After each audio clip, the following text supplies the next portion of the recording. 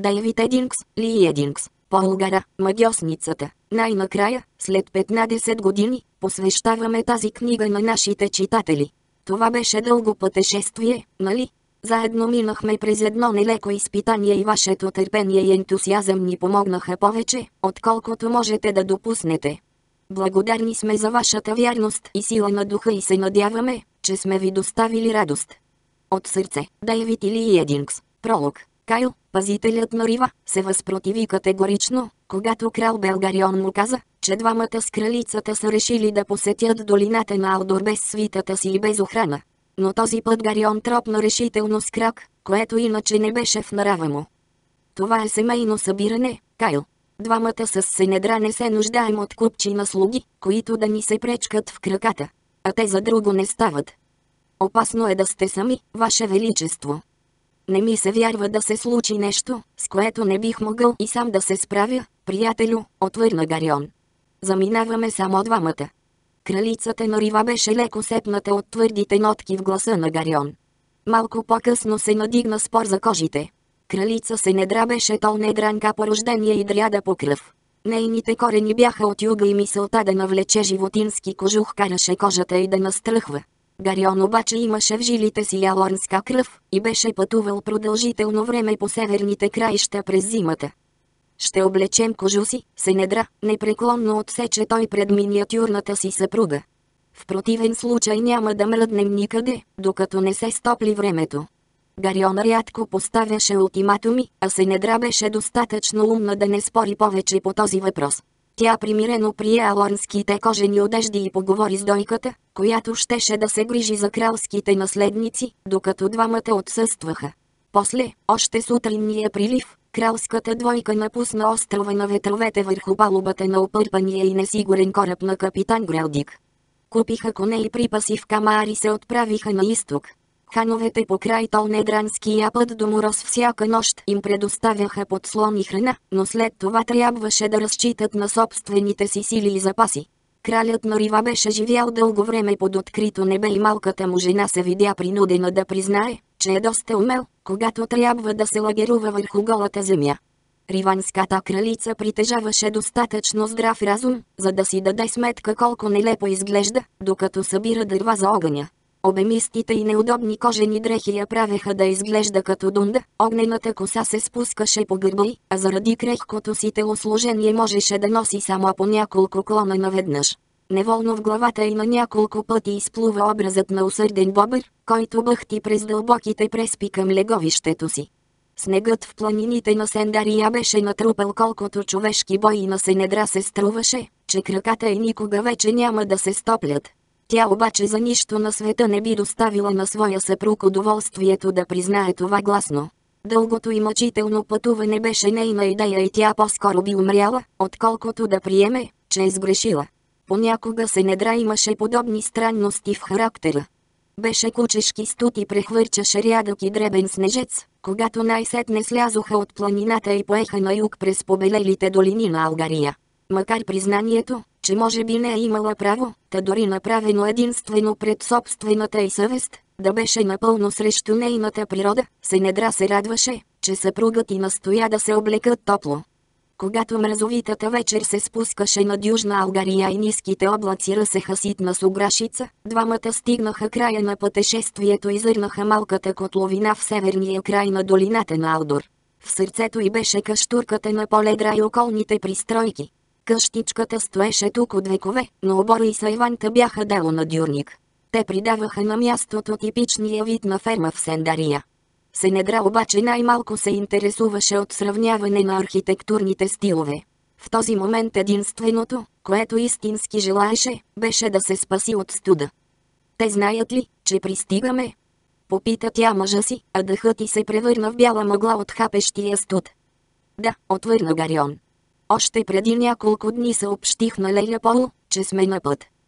Понякога е много полезно човек да те има до себе си, Ваше Величество, усмихна се Сенедра. Ваше Величество е твърде мила, в отговора му прозвуча лека насмешка. О, Гарион! И двамата се засмяха в един глас, докато уморените им коне си проправяха партина надолу по хълма. Къщичката, винаги я бяха наричали така, макар тя постепенно да се бе превърнала в просторен дом, се гушеше на брега на скован от леда поток. Преспите стигаха чак до долния край на прозорците. През стъклата прозираше меката светлина от лампите и огряваше снега, сякаш пътечка подканяше гостите да побързат. Стълб синкав дим се въздигаше към заплашително надвисналото небе. Риванската кралица се оживи от тези ясни знаци, че само на четвърт миля я чакат топлина и уют. Ниската врата на къщата се отвори и дюрник излезе на двора. Какво ви забави? Извика той. Чакахме ви още по обед. Натъкнахме се на дълбоки преспи, провикна се в отговор Гарион. Трябваше да забавим ход за известно време. Конете на Сенедра и съпруга и нагазиха в заснежения двор и двамата издачи скочиха от седлата пред вратата на къщата. Влизайте бързо и двамата, нареди Дюрник. Аз ще се погрижа за конете. Ще ти помогна, настоя Гарион. Мога да разседлая кон почти толкова бързо, колкото и ти, пък и искам да се поразкърша след язденето. Той хвана се недра за ръка и я поведе към вратата. Ей сега се връщам, Лелю Пол, провикна се Гарион към вътрешността на къщата. Искам да помогна на дюрник за конете.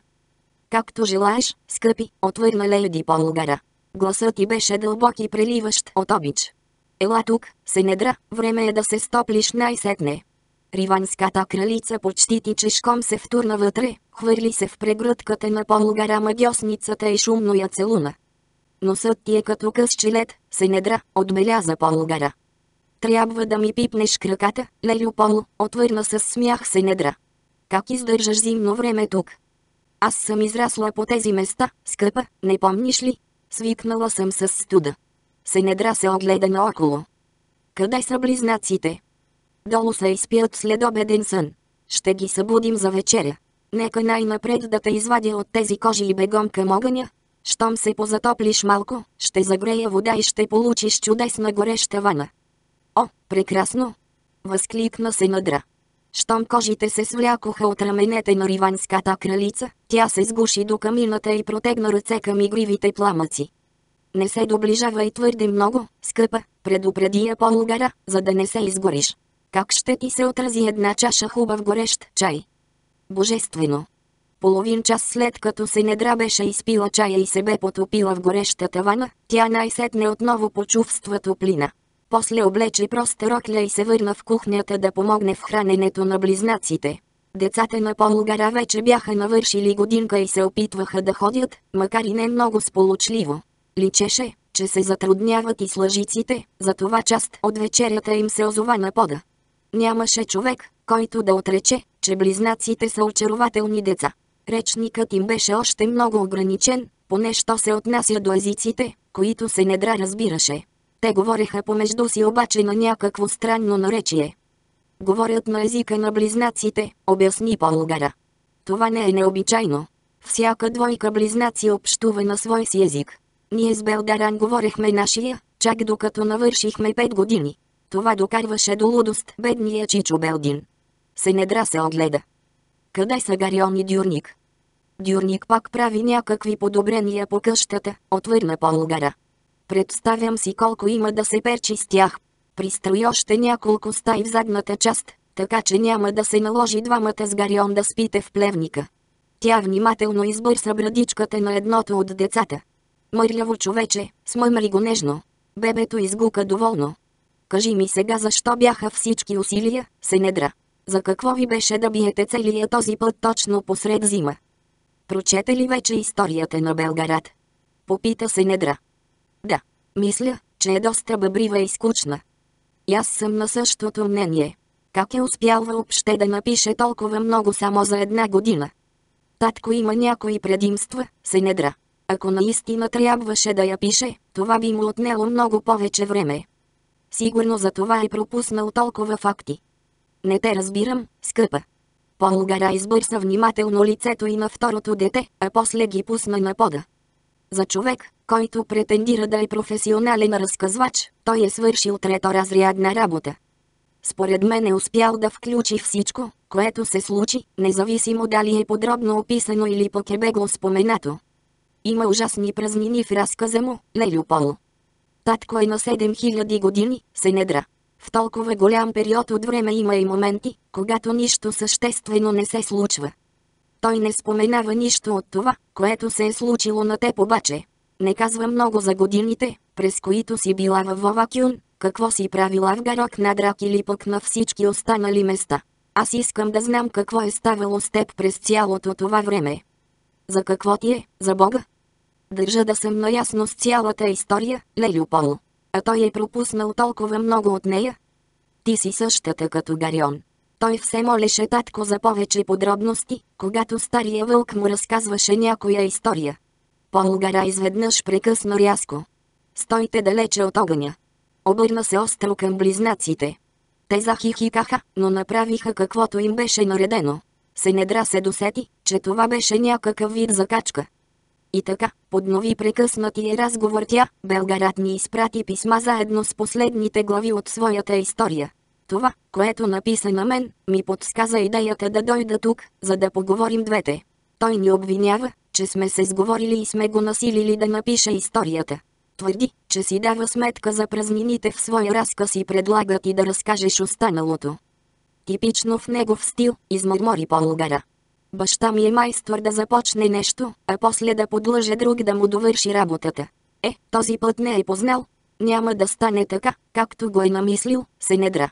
Никога не съм се правила на разказвач, пък и имам по-важни дела. Но. Никакво но, скъпа. А сега върви и повикай Гарион и Дюрник на вечеря.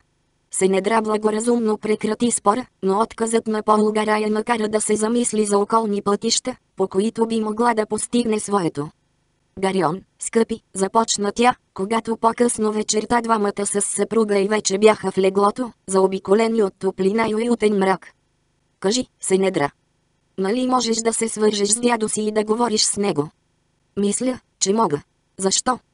Не би ли искал да видиш него и баба си? Щом така и така сме наблизо, нали кулата на Белгарат никак не е далеч от тук, можем да се срещнем с тях. Пък и те ще бъдат страшно разочаровани, ако не го направим, не е ли така? Какво кроиш пак, се недра? Защо винаги трябва да кроя нещо? Обикновено така става. Не си много любезен, Гарион. Толкова ли е неестествено да искам да събера семейството? Извинявай, сигурно греша. Е, наистина Леля ти по-лугара малко се заинати. Ще ми трябва помощ, за да я убедя да напише своята история. Дядо няма да ти помогне, вече ти го каза в писмото си. Не говоря за помощ от него. Искам да поприказвам с Поледра. Леля Пол ще послуша майка си. Моля те, Гарион. Каза тя с най-обаятелната си и затрогваща интонация. Добре, ще поговоря с Дюрник. Защо не оставиш аз да говоря с Дюрник? Сигурно ще успея да го убедя, че моята идея си струва. Тя се притисна нежно към съпруга си. Сега ми е топло и хубаво, Гарион, рече подканящо. Да, забелязах го. Толкова много ли ти се спи? Е, не чак толкова, скъпа, отвърна той и я прегърна. Работата явно няма да е толкова трудна, реши се недра. Тя нямаше равна в това да постига целите си и беше убедена, че ще успее да спечели на своя страна Гарион и Дюрник. Убеждаването на Поледра обаче щеше да изисква повече усилия. Както обикновено Гарион се измъкна от постелята още преди да е съмнало. Риванският крал беше израснал в ферма, а работниците на полето обикновено стават рано. Сенедра реши, че няма да е да го държи под око следващите няколко дни. Един случайен разговор между нейния съпруг и Дюрник можеше да провали плановете й. Тя умишлено избегна думата заговор. Ето защо допря пръсти до амулета на Белдаран и мислено проследи Гарион. Тихо, тихо. Беше гласът на Дюрник, удивително нежен и внимателен. Това съм аз. Заспивайте отново, по-късно ще ви нахраня. Последва някакво недоволно гъргорене, меки и гърлени звуци, явно бяха птици, прецени се недра. Те пак откудякаха още малко и отново отихнаха. Винаги ли им говориш така? Чу се гласът на Гарион. Това ги успокоява, за да не излетят в тъмното и да се наранят, отговори Дюрник. Упорито гнездят все на това дърво насред двора, а аз минавам от тук всяка сутрин. Вече ме познават, затова мога да ги успокоя да заспят отново. Птиците лесно се приучват. При сърните и елените отнема повече време, а зайците са много боязливи и лесно се плашат. Ти ги храниш всички, нали, Дюрник? Те също живеят тук, Гарион, а фермата произвежда много повече от това, което ни е нужно на нас с Пол и бебетата. Птиците, сърните и зайците си намират прехрана през лятото, но зимите са дълги и студени, затова им помагам малко. Той беше толкова добър човек. Очите на Сенедра се напълниха с сълзи. Полгара имаше възможност да избере своя съпруг сред императорите и да живее в палат, но тя предпочете обикновен селски ковач и тази отдалечена от света къща. Едва сега Сенедра разбра защо беше постъпила така. Оказа се, че Дюрник лесно се поддава на манипулиране. Предложението на Сенедра за малко семейно събиране, така и така вече сме тук незабавно го спечели на нейна страна. Дюрник беше твърде наивен, за да заподозре скрити помисли.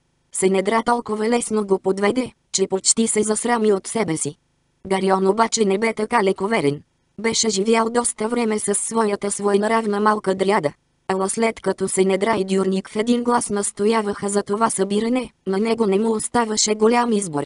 Въпреки това той хвърли няколко подозрителни погледа към Сенедра преди да изпрати мислено послание на дядо си. Белгарат и Поледра пристигнаха близо ден по-късно. Докато старият човек поздравяваше Сенедра, изражението му ясно показа увереността му, че тя наистина крои нещо. Това обаче не притесни особено Сенедра. Онова, което наистина кроеше, не включваше участието на Белгарат. Вместо това тя се съсредоточи върху Поледра. Минаха няколко дни преди риванската кралица да успее да се усамоти за сериозен разговор с бабата на своя съпруг. До тогава обединението на семейството изглеждаше единствената причина за тази среща. Естествено, близнаците на Полгара бяха в центъра на всеобщото внимание. Те видимо се забавляваха от това, а Сенедра изчакваше търпеливо. Тя беше уверена, че подходящият момент рано или късно ще настъпи, затова си позволи да се наслаждава на близостта между членовете на това чудато семейство, към което чрез брака си вече принадлежеше. Имаше нещо непривично и странно в поведението на жълтеникаво кафяво косата поледра, което държеше на страна се недра и я разколебаваше при всеки опит да се приближи до нея. Риванската кралица на няколко пъти беше препрочитала историята на Белгарат и знаеше странното минало на Поледра. Тя често се улавяше да изучава съсредоточено жената на Белгарат, търсейки във външността и останки от вълчите черти. Сигурно имаше нещо от облика на хищниците в нейния образ, но Сенедра беше родена в Толнедра, а там вълци не се срещаха. Тя едва ли би разпознала тези черти, дори да личаха ясно. Това, което най-много притесняваше Сенедра, беше смущаващо прямият поглед, с който Поледра наблюдаваше хората. Сирадис наричаше Поледра жената, която наблюдава и пророчицата от Кели имаше пълно право за това. Златистите очи на Поледра изглежда имаха силата да проникват през всички защитни слоеве на Сенедра чак до онова тайно кътче, където тя криеше истинските мотиви за своите постъпки. Дребничката кралица обаче не желаеше никой да си вре носа там. Най-накрая една сутрин тя насили коража си и се доближи до златооката майка на Полгара. Гарион, Белгарат и Дюрник бяха излезли навън да проведат един от нескончаемите огледи на фермата, а Полгара къпеше близнаците. Искам да ви помоля за една услуга, лейди Поледра. Сенедра не беше съвсем сигурна как точно трябва да нарича бабата на Гарион, затова избра не съвсем подходящото официално обращение. Подозирах, че ще го направиш, отвърна твърде меко Поледра. Ти хвърли доста усилия, за да организираш това събиране и усещам, че ме наблюдаваш от няколко дни.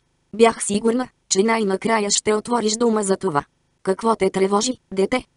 Е, тревожи може би не е най-подходящата дума, уточни се недра, отклонявайки поглед. Тези пронизващи златисти очи я караха да се чувства нервна. Убеждавам Полгара да свърши нещо, а тя се е заинатила и отказва. Знаете каква може да бъде понякога. Да, това е семейна черта. Май не се изразих правилно, рече извинително се недра. Аз, разбира се, я обичам, но... Какво искаш от нея? Не го усуквай повече, Сенедра, а карай направо. Сенедра не беше привикнала към толкова безцеремонен начин на говорене, но реши да не се обижда. Вместо това започна отдалече. Четохте ли историческата книга, която съпругът ви току-що завърши? Попита. Не чета много често, отговори Поледра.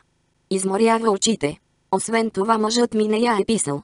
Той я разказа, а буквите просто се появяваха върху листа, докато говореше. Понякога даже извърташе и го усукваше, за да не каже точно как е било. Чух по-голямата част от книгата, когато диктуваше. Все пак не е твърде неточна, а в повечето случаи казва истината. За това ми е думата. Премълчал е много неща, нали? На някои места, да. Но вашата дъщеря би могла да запълни празнините. Защо е нужно това? За да завърши разказа. Разказите не са толкова важни, се недра. Виждала съм как мъжете си разказват истории, само за да се намират на приказка, докато изпразват чаша след чаша сел след вечеря и чакат да стане време за лягане. Поледра доби весело изражение. Мигър наистина би толкова път, само за да чуеш една история. Не можа ли да си намериш по-добро занимание, да родиш още едно дете или пък нещо друго? Сенедра отново смени посоката на разговора. О, тази история не ми е толкова нужна, излъга тя. Тя е за сина ми. Един ден той ще стане ривански крал. Сега разбирам. Бях чула за този обичай. Колкото и да са странни, обичаите трябва да се спазват. Сенедра се хвана за думите и като удавник за сламка. Синът ми Геран един ден ще бъде водач и трябва да е наясно кой е и откъде е дошъл. Историята ще му каже всичко това. Поледра присвира мене. Защо ли това е толкова важно?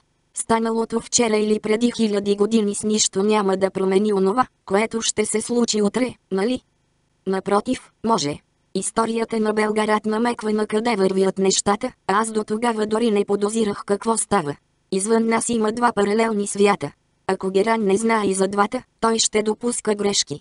Затова ми е необходима историята на Полгара, в името на моите и нейните деца. Сенедра избегна думата кутрета в последния момент. Не е ли грижата за нашите деца най-важното нещо в живота ни? После внезапно я осени една мисъл. Ти би могла да разкажеш историята също, нали? Вълците не разказват истории, се недра. Ние сме твърде заети с това да бъдем вълци. Това не се отнася до Полгара. Моят син има нужда от цялата история. Благоденствието на неговия народ може да зависи от това какво знае той. Нямам представа какво е предопределил Алдор за децата на Полгара, но е твърде възможно и те също да имат полза от тази история. Сенедра беше много горда от това как успя да извърти нещата. Ако погаделичка инстинкта на Поледра за вярност към глутницата, той можеше да се превърне в ключ към решаването на въпроса. Ще ми помогнеш ли да убедя Полгара? Златистите очи на Поледра добиха замислено изражение. Ще размисля, каза тя. Това не беше очакваното твърдо обещание, но точно тогава Полгара доведе близнаците и риванската кралица нямаше възможност да продължи разговора. Когато на следващата сутрин се недра се събуди, Гарион както обикновено вече беше излязъл. И както обикновено беше забравил да хвърли още дърва в огъня, затова в стаята цареше студ.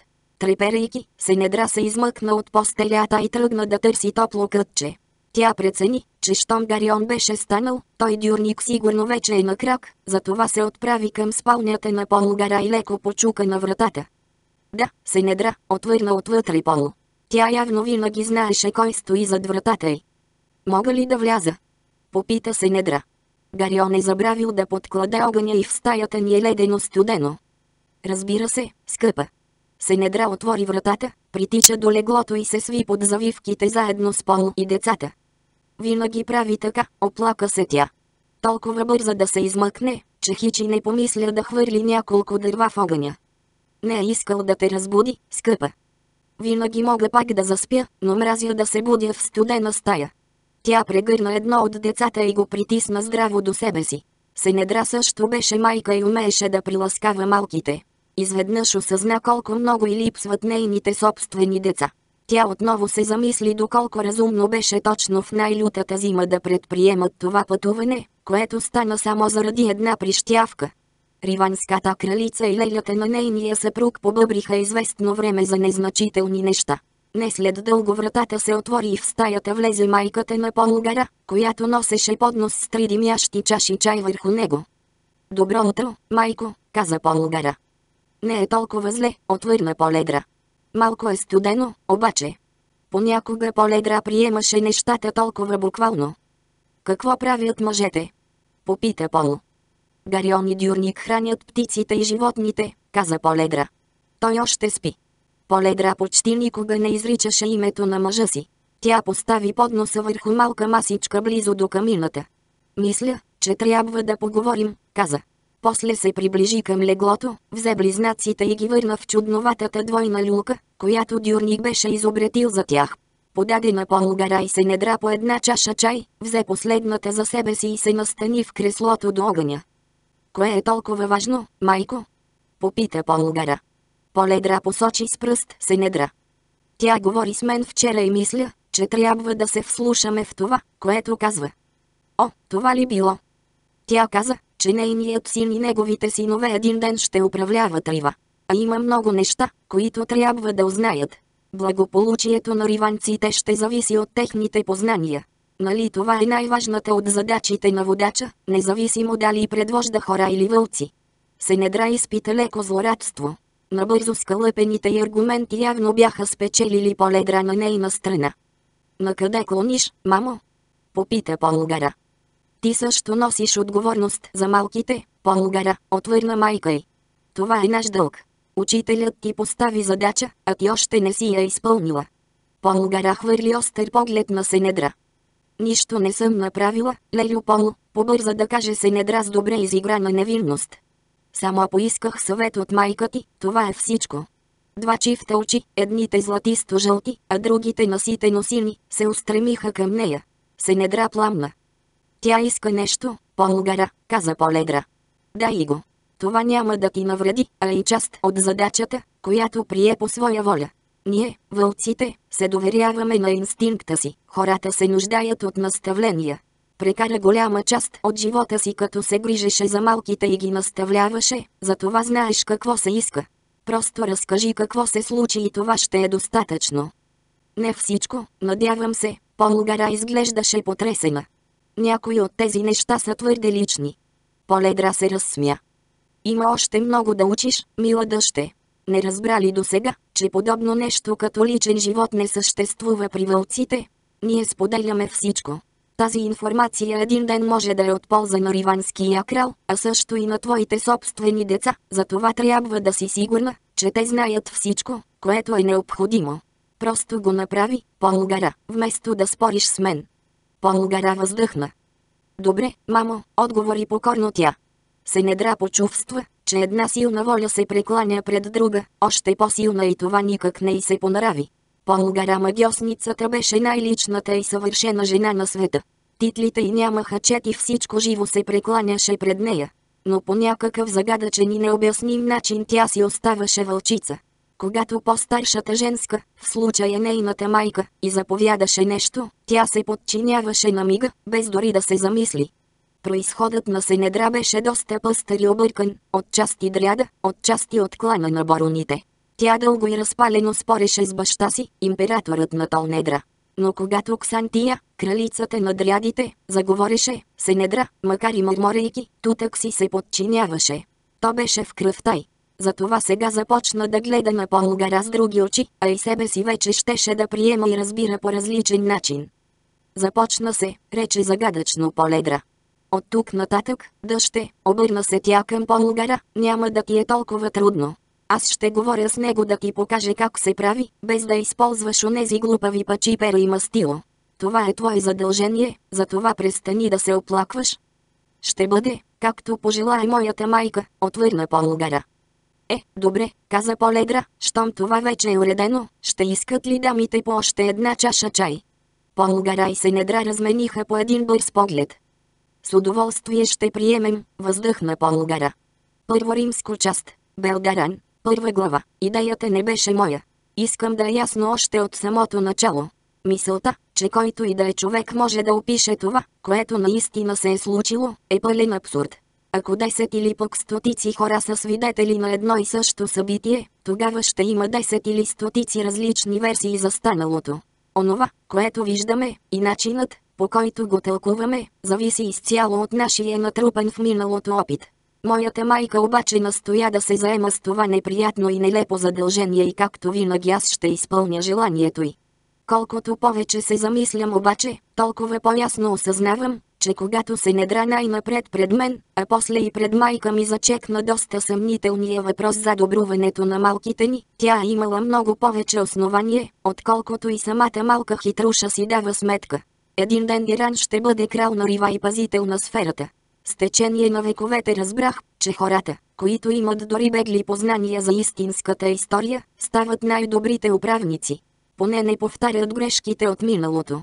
Ех, ако единственото, от което се нуждаеха Геран и неговите синове, за да управляват риванците, беше само скучно изложение за делата на различните владетели от всички кралства през изминалите векове, тогава всичко щеше да е много лесно. Но както хитро отбеляза моята снаха, тези и тогава, после, а след това на толнедранските учени обхващат само част от действителността. Извън нея съществува още един свят, а природата на толнедранците не позволява те да проумеят нещата, които се случват в него. Ето този невидим свят трябва да опознае риванският крал, ако иска добре да завърши онова, за което е призван. Дори и така да е, аз с чиста съвест бих могла да заявя, че твърде подробната история на баща ми за нашия странен свят вече е запълнила празнините от информация. Направих нещо повече, препрочетох тази досадна и бъбрива книга, опитвайки се с все сили да докажа на себе си и на моята майка, че наистина не бих могла да добавя нещо ново към вече казаното. Съвсем скоро обаче недопустимите пропуски на баща ми започнаха да бият на очи.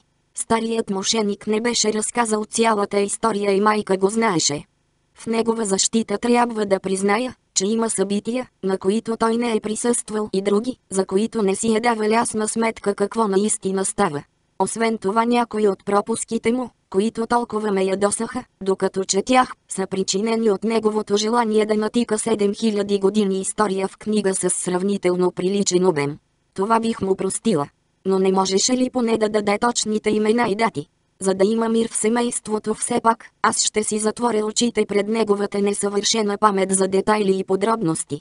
Човешката памет, а това показва, че и баща ми е човек като всички останали, никога не е напълно съвършена.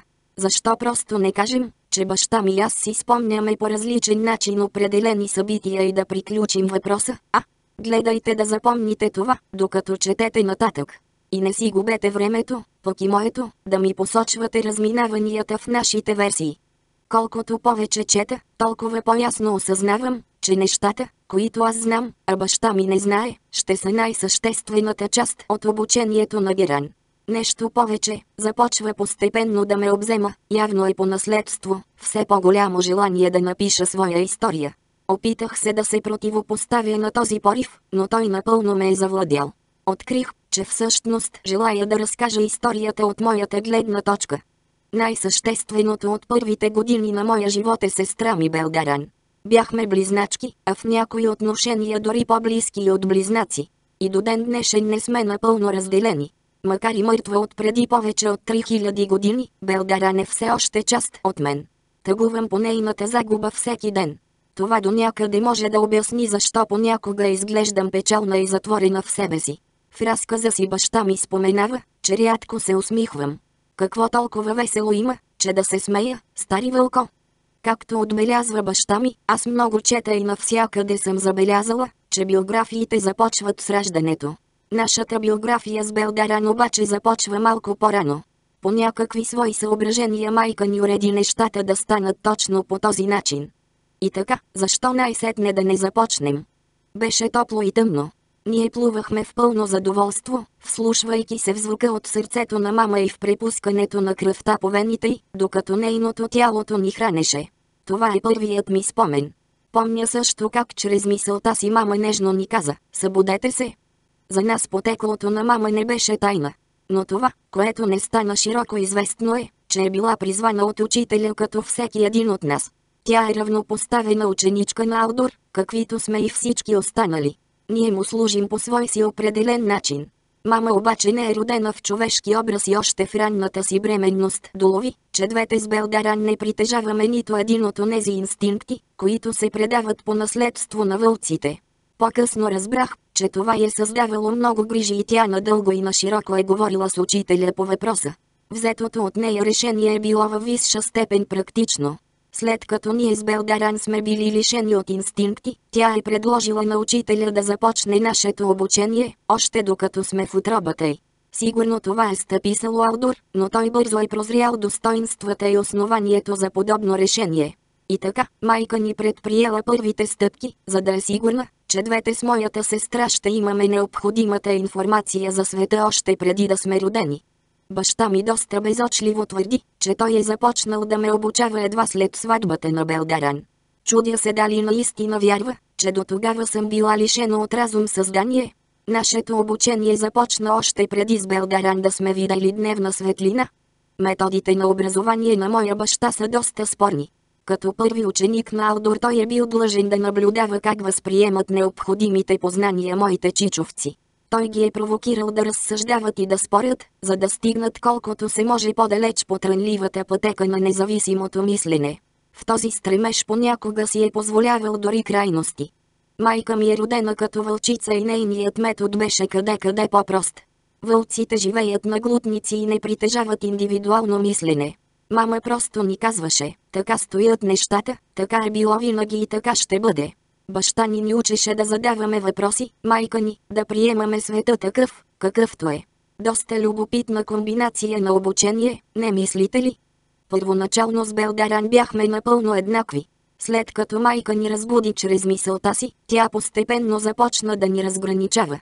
Аз получавах наставления, които не се отнасяха за Белдаран, а тя беше учена на неща, до които аз нямах достъп.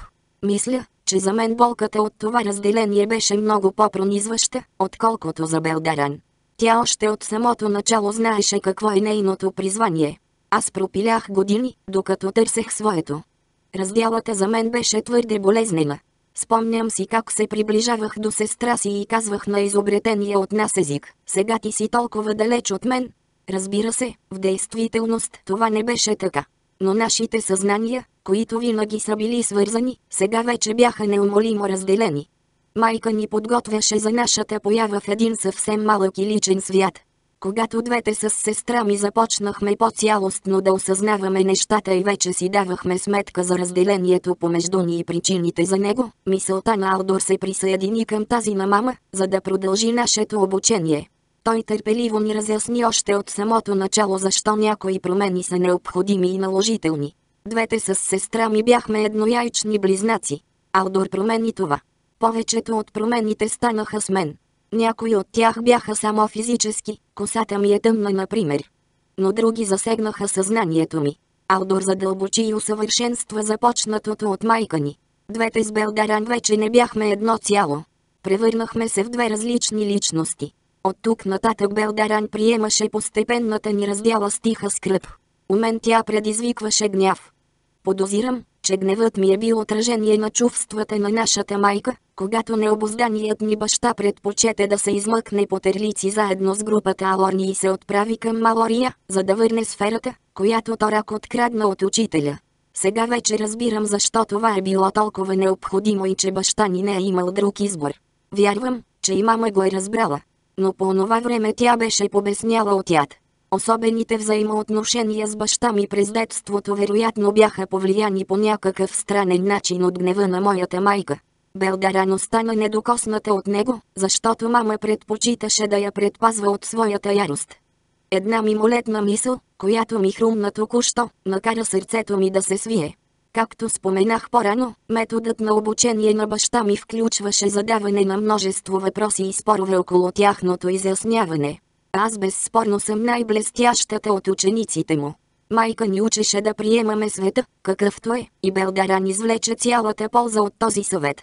По тази логика излиза, че всъщност аз съм истинската дъщеря на баща ни, а Белдаран е принадлежала изцяло единствено на нашата майка.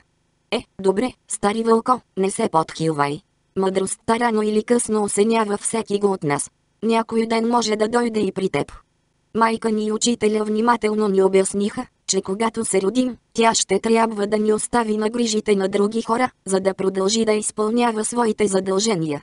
Увериха ни, че ще бъдем добре гледани и дори нещо повече, че мисълта на мама почти през цялото време ще бъде с нас. Приехме това, макар очакването на физическата ни раздяла да ни плашеше. Най-важното нещо за нас, откакто съзнанието ни беше пробудено обаче си оставаше фактът, че мисълта на майка ни е постоянно с нас. Успокоението, че това няма да се промени, ни вдъхваше увереност.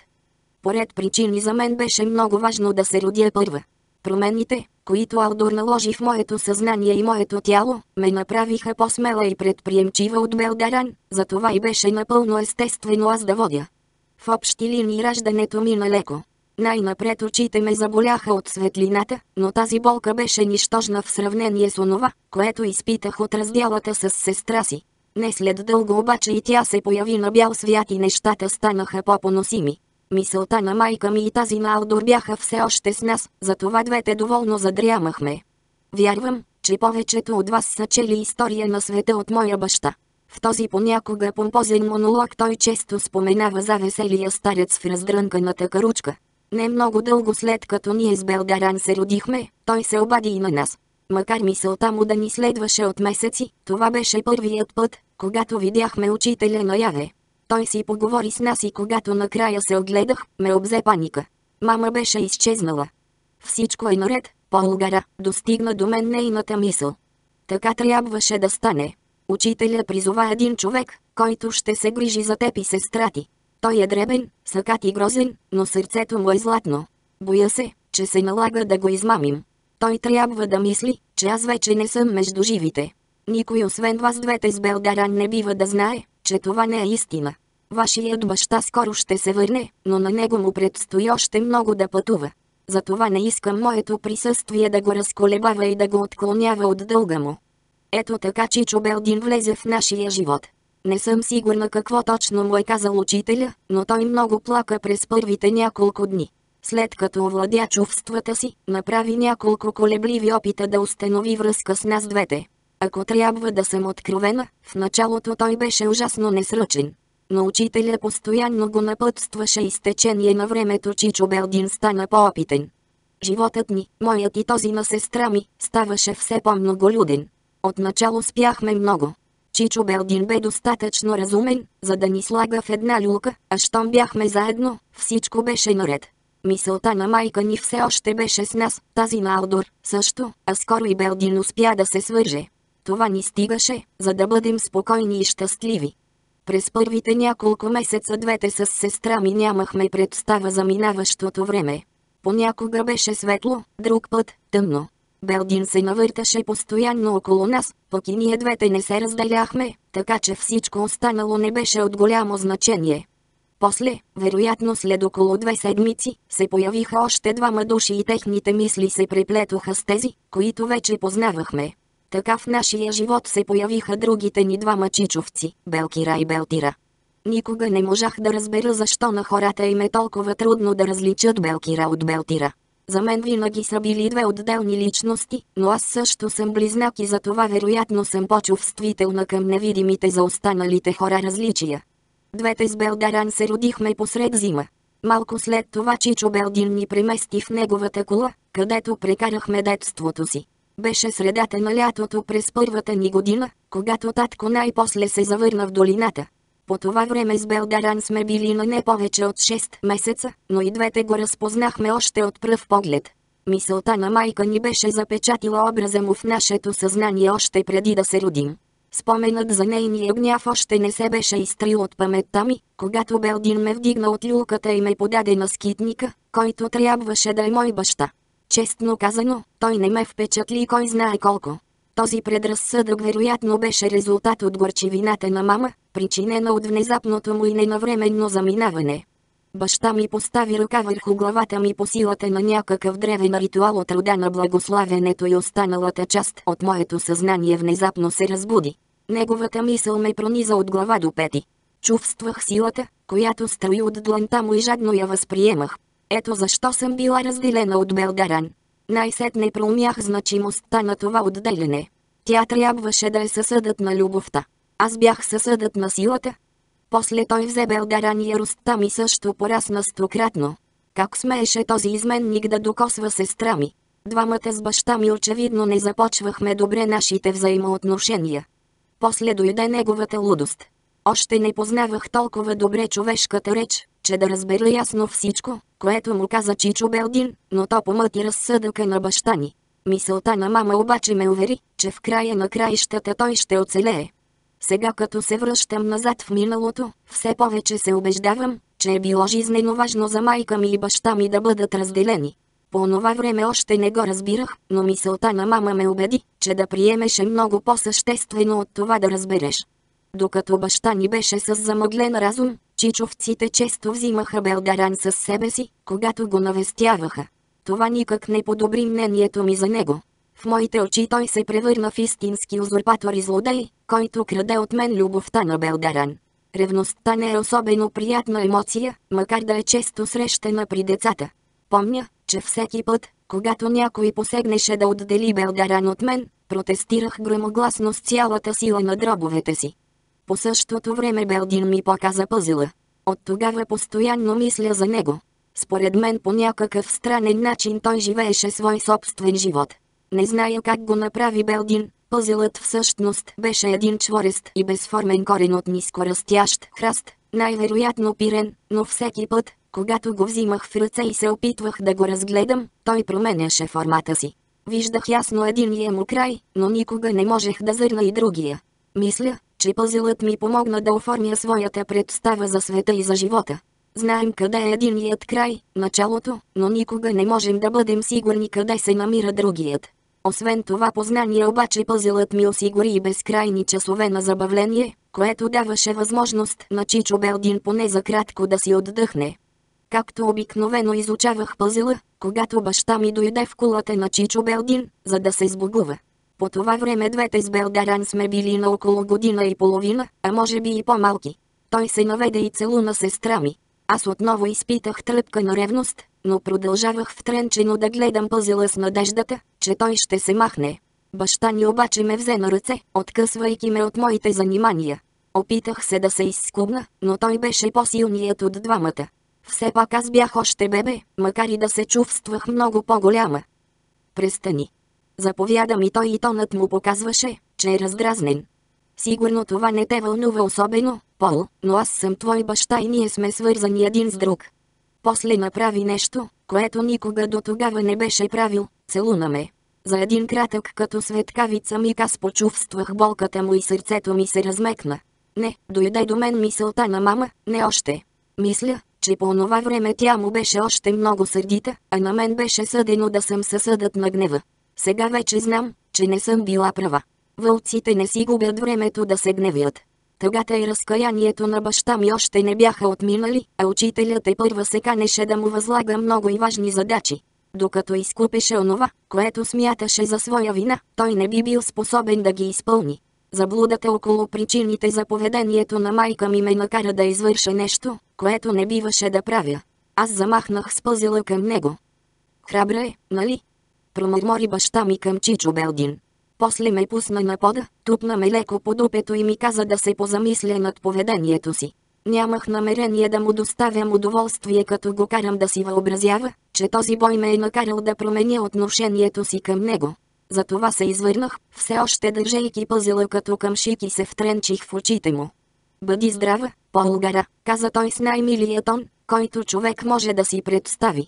А сега върви да си играеш.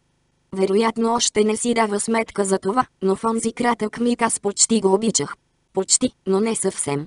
Обичта дойде по-късно, а за това бяха нужни години. Той напусна долината малко след като се беше завърнал от похода си за освобождаване на сферата. Дълги години след това не го видях. Втора глава. Нищо от онова, което се случва, не е толкова незначително, че да не повлияе върху хода на нещата.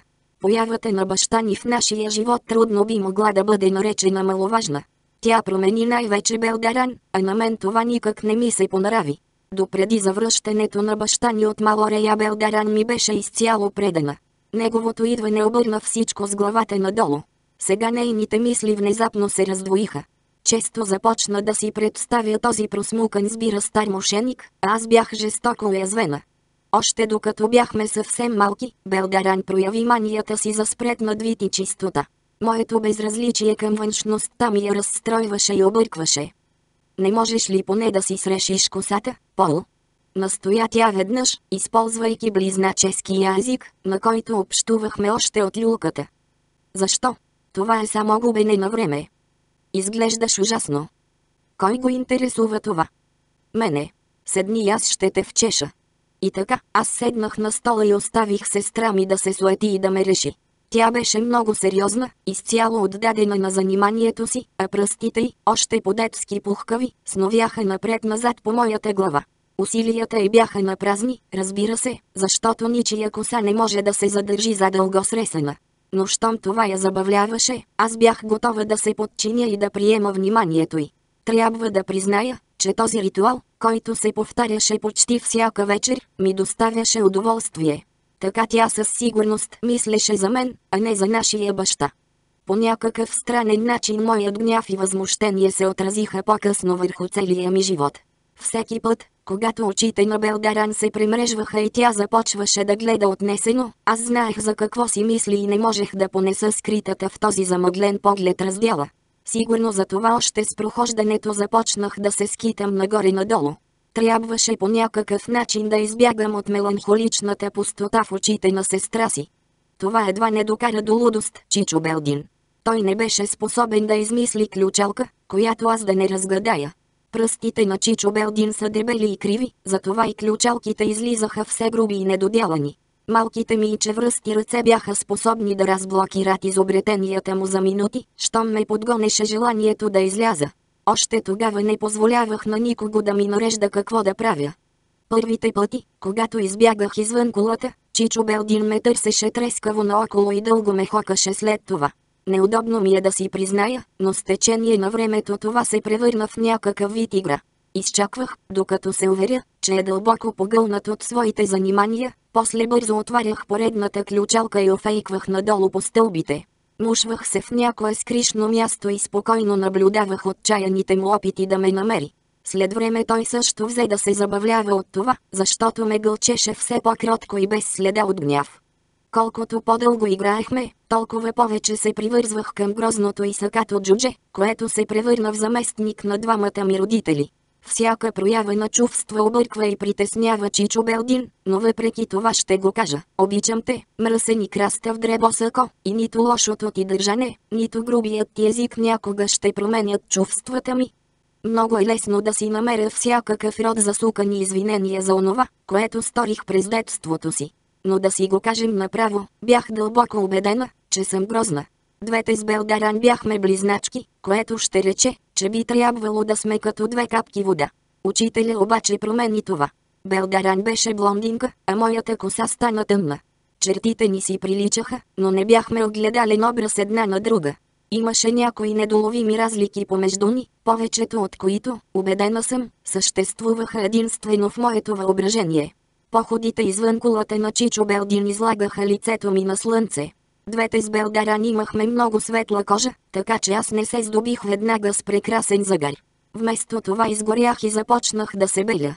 Приличах на влечуго, което си сменя кожата. Белдаран си стоеше все вкъщи и кожата й беше като алабастър. Сравнението между двете определено не беше в моя полза. Освен това косата ми беше прорязана и от омразния бял кичур, останал като белек от първото докосване на баща ми до мен. О, как ненавиждах този прокълнат фъндък коса. Веднъж, заслепена от ярост, дори се опитах да го отрежа до корен с ножа. Беше много остър, но недостатъчно, за да ми свърши работа. Кичурът устоя на упоритото кълцане и рязане, ала за това пък острието се изтъпи. И то не защото стоманата беше некачествена. Ножът остави един хубав и дълбок прорез върху левия ми палец. Най-накрая се предадох. Съдбата беше отредила да съм грозна и затова реших изобщо да не обръщам внимание на външния си вид. Къпането според мен беше чиста загуба на време, ресането само ме принуждаваше отново да си припомням колко отчетливо изпъква кичурът. Често падах, защото на унази възраст бях доста тромава и несръчна. Кокалестите ми лакти и колене вечно бяха с обелена кожа. Имах навик постоянно да чопля образувалите се пораните корички и това оставяше дълги ивици засъхнала кръв по ръцете и краката ми. Почти непрестанно си гризях ногтите. С една дума, бях ужасна мърла и изобщо не се интересувах от това. Колкото повече растях, толкова по-продължителни и отдалечени ставаха моите разходки. Чичо Белдин най-сетне се беше уморил да ме издирва при всяко бягство от кулата или пък учителя го беше посъветвал да ме остави да се скитам на воля. Явно укрепването на моята самостоятелност имаше голямо значение. Бях близо 6 годишна, когато най-сетне открих дървото в сърцето на долината. Семейството ми е особено привързано към него. Когато баща ми за първи път дошъл в долината, дървото го приютило през зимата. Сенедра, която е дряда, с часове медитира и общува с него. Гарион никога не е отварял дума за отношението си към дървото, но умът му беше заед с съвсем други неща, когато за първи път се изправи срещу него. Когато Ерион беше още съвсем малък, двамата с коня предприеха специално пътуване, само и само да видят дървото. Първият път, когато се озовах пред ствола му, аз се втрещих. Не можех да си представя, че нещо живо може да бъде толкова огромно. Помня този ден съвсем ясно. Беше ранна пролет. Бушуващият вятър правеше вълни в тревата по хълмовете и могилите на долината и носеше мръсно сиви облаци по небето. Чувствах се волна и в прекрасно настроение. Бях се отдалечила доста от кулата на Чичо Белдини като превалих една обрасла с трева височинка, пред мен се изправи дървото. Издигаше се самотно и необхватно за погледа. Стъблото беше много по-голямо от кулата на Чичо Белдин. Клоните му се издигаха десетки метри нагоре в небето, а неговите разклонения засенчваха цяла кърна около. Зяпах го прехласнато дълго време, докато накрая чух или усетих, че дървото ме вика. Колебливо се спуснах надолу към него като подозрително се вслушвах в повика му. До сега нито храстите, нито тревата ми бяха говорили по този начин. Незрелият ми детски ум веднага предусети нещо необичайно. Когато най-сетне навлязох под сянката на клонестата му корона, ме обгърна някаква странна топлина и умиротворение. Но те само увеличиха трепета ми. Знаех, че дървото няма да ми стори нищо лошо. Накрая се престраших и решително поех към масивното възлесто стъбло. Протегнах ръка и го докоснах. Това беше моето повторно пробуждане. Първото се случи, когато баща ми допря моето чело за благословия но това пробуждане беше много по-разтърсващо и все проникващо. Дървото ми каза, макар каза да не е най-точната дума, че е най-старото живо същество в целия свят. Безчет столетия бяха наливали живителни сокове и мощ в ствола му. Сега то стоеше в пълен мир и до столепие насред долината, отърсвайки годините като дъждовни капки от своите листа. Щом то се е появило на този свят много преди нас и е още живо, значи всички ние сме негови деца. Първият урок, който то ми преподаде, беше за естеството на времето. Времето, бавното и отчетливо минаване на годините, не е точно такова, каквото си го представяме. Хората все се опитват да го накъсат на някакви понятни и приемливи за тях парчета, нощ и ден, редуване на сезоните, минаване на годините, вековете, епохите. В действителност времето е единно и неделимо като река, която тече неспирно от извора към някаква непонятна за нас цел. Дървото внимателно насочваше детското ми съзнание по нишките на тази изключително трудна за възприемане представа.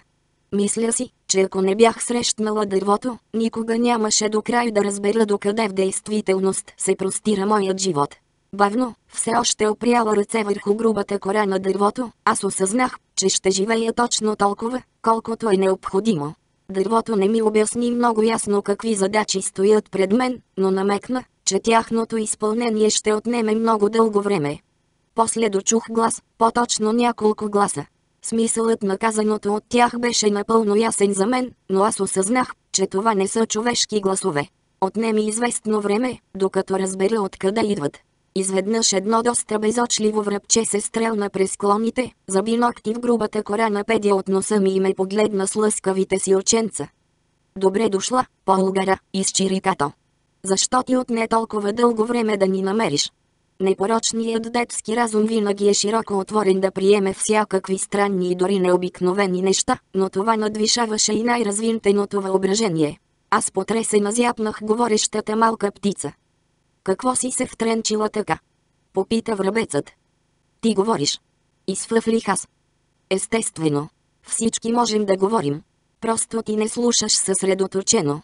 Трябва да обръщаш повече внимание на това, което става около теб. Няма да ми сториш нищо лошо, нали? Да знаеш, че ще отлетя, ако се опиташ да направиш нещо такова. Не, не, не, няма, запелтечих аз, няма да ти причиня нищо лошо. Хубаво, тогава можем да си поговорим. Забеляза ли някакви семенца, докато идваше насам? Не, пък и не съм се заглеждала да търся семена. Трябва да се научиш да ги виждаш. Моята другарка пази трите ни пиленца в гнездото, аз трябва да намеря зранца, за да ги нахраня. Какво е това на ръкава ти? Погледнах към ръкава на ризата си. Прилича на някакво семе, вероятно е от трева. Добре де, не стой така, ами го дай. Взех семенцето и го протегнах към него. Той подскочи от дървото и се настани на пръста ми. После кривна глава и внимателно разгледа с малкото си око това, което му предлагах. От трева е, съгласи се най-накрая. След това съвсем ясно въздъхна. Мразя когато единственото нещо за ядене наоколо са недозрели семена от трева. Още е началото на сезона и зранцата са съвсем малки.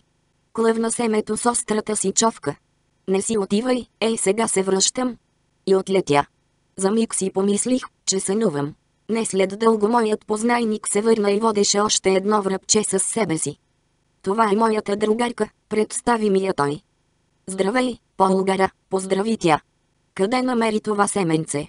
Моите голишарчета са много гладни. Сигурно се е закачило на ръкава ми някъде около върха на онзи хълм, осмелих се да предположа. Защо не отидеш отново там и не погледнеш, предложи тя, нахално кацвайки на рамото ми. Мъжкият последва примера и се настани на другото ми рамо.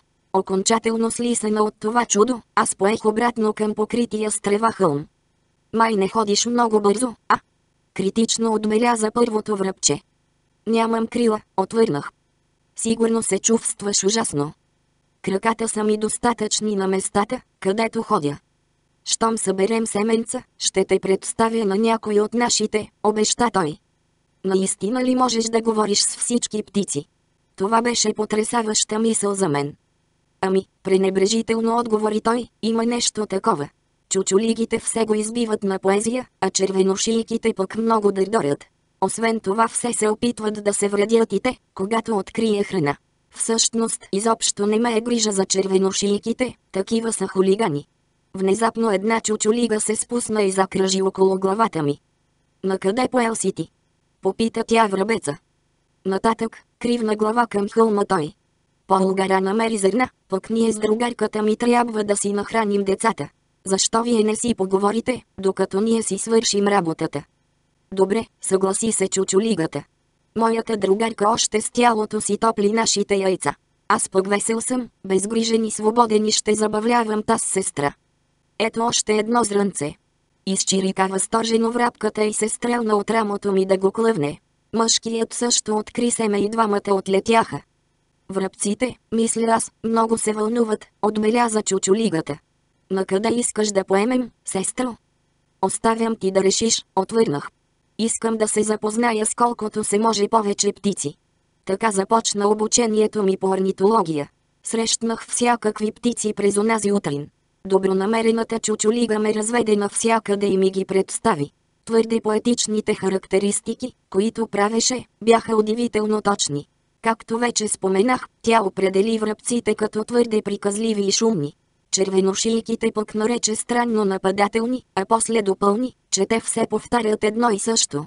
Сойките много викали, лястовиците се перчели, гарваните били крадливи, лешоядите смърдели. Бухалите изобщо не били толкова мъдри, колкото им се носи славата. Придружителят ми доста пренебрежително ги нарече летящи капани за мишки. Чайките имали твърде преувеличена представа за собственото си положение сред останалите живи твари. Дори и най-обикновените от тях през повечето време се правили на орли. В долината обикновено не се срещаха чайки, но бурните ветрове понякога довяваха някой от тях навътре в сушата. Като цяло обаче повечето водни птици прекарвали еднакво дълго както във въздуха, така и във водата. Аристократите в света на летящите твари са грабливите птици. Различните ястреби и соколи в зависимост от своята големина са разпределени в строго спазвана иерархия. Най-високо в хвърковатото царство стои орелът. Общувах с най-различни птици, чак докато мръкна. Накрая те толкова свикнаха с мен, че някои от тях започнаха да кацат върху ми. Обещах им да се върна отново на другия ден. Чучулигата ме изпроводи чак до кулата на Чичо Белдин. Какво прави днес, Пол? Любопитно попита Белдаран, когато се изкачих по стълбите в кулата. Запознах се с някои птици, отговорих. Запознали се?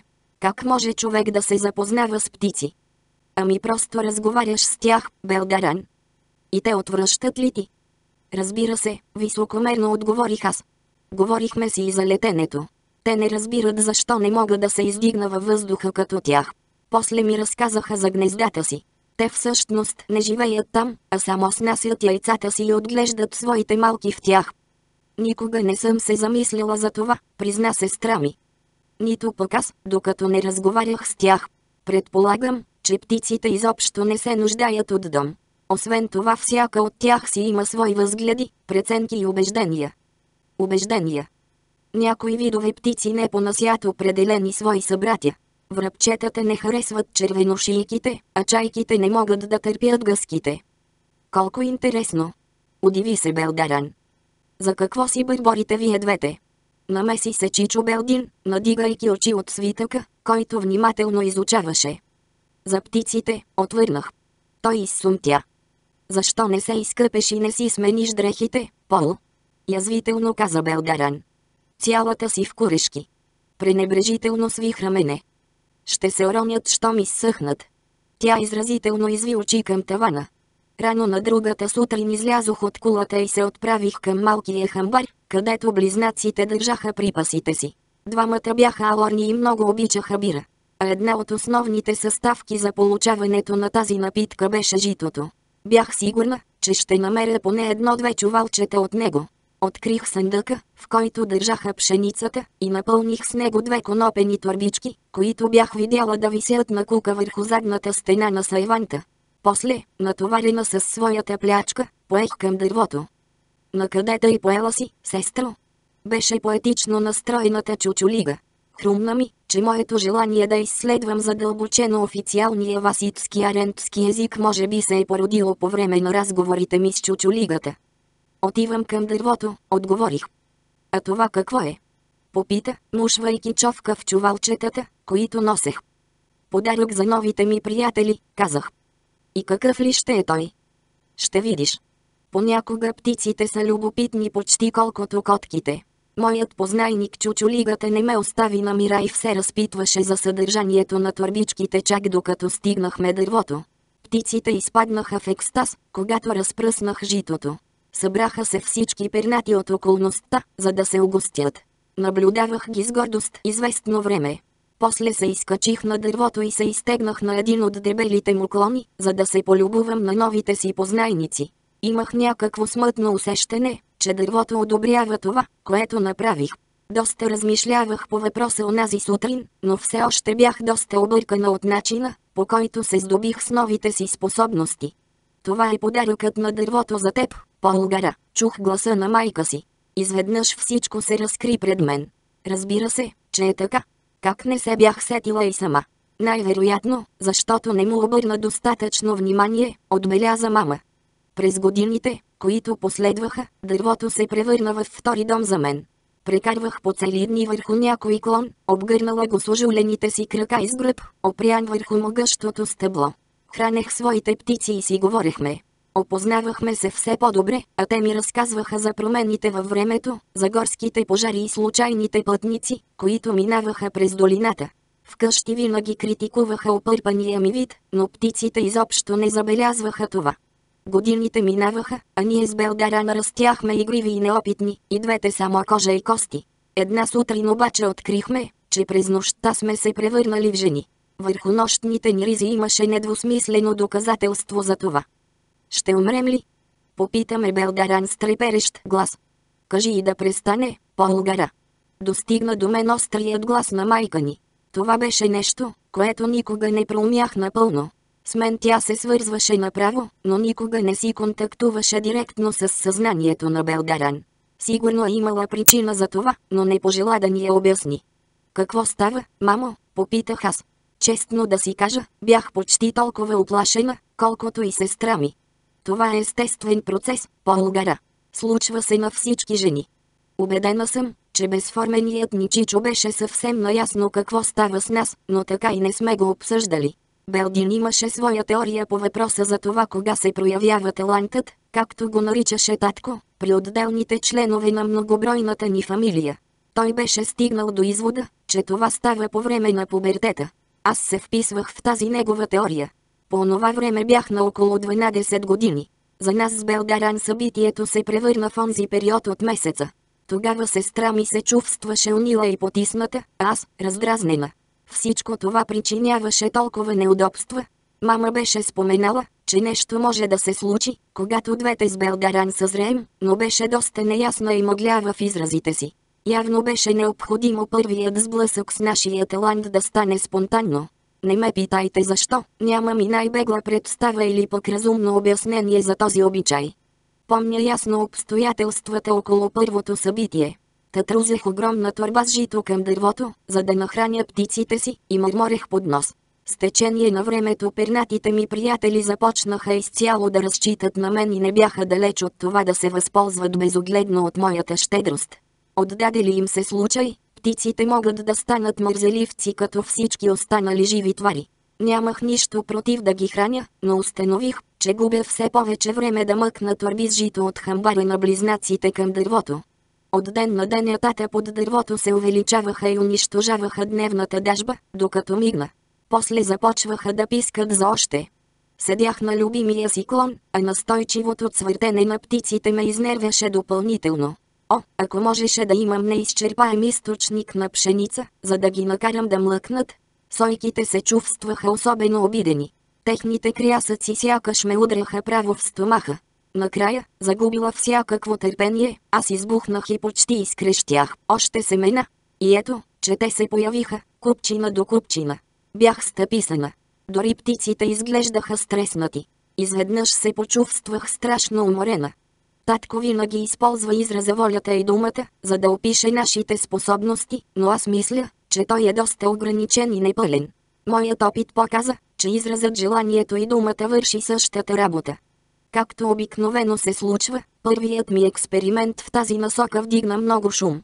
Още не бях успяла да се нарадвам на новите си способности, когато един сокол с синкави пера и два гълъба започнаха да кръжат над мен. Обикновено соколите и гълъбите не летят заедно, освен ако соколът не е гладен. Затова тутък си заподозрях нещо. Тримата кацнаха на моя клон, после очертанията им се размиха и те започнаха да се променят пред очите ми. Зърна, а, по-лгара. Каза меко Белтира. Зърна. Птиците бяха гладни, отвърнах. Какво глупаво оправдание за чудото, което се случи? Предпазлива е, нали? Измърмори Белкира към Чичо Белдин. Май трябваше да го очакваме, изсумтя Белдин. Пол никога не е правила нещо като хората. После ме погледна доста сурово. Това повече да не се повтаря, Пол. Рече остро. Не и преди да сме ти обяснили някои неща. Иначе е много опасно. Опасно ли? Това ме сепна. Можеш да правиш почти всичко, което ти хрумне, Пол, уточни Белтира, но след това няма как да унищожиш полученото. Никога не казва изчезни. Направиш ли го, разрушителната сила ще се обърне срещу теб и ти ще бъдеш унищожена. Защо ми е да унищожавам нещо? Случва се понякога, увери ме Белдин с ръмжене. Ти си почти толкова лоша по характер, колкото съм аз. Рано или късно нещо ще те ядоса до такава степен, че ще поискаш то да изчезне, ще се опиташ да го разрушиш и това ще те убие. Ще ме убие. Дори нещо повече. Целта на Вселената е да създава.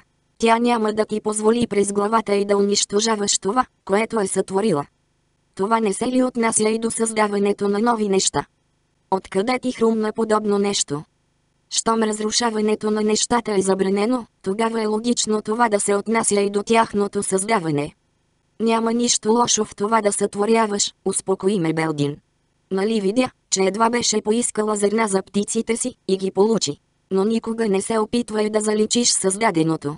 Ако не се е получило добре, това е достатъчно наказание. Що ме направено веднъж, вече си безвъзвратно свързана с него. Не е справедливо.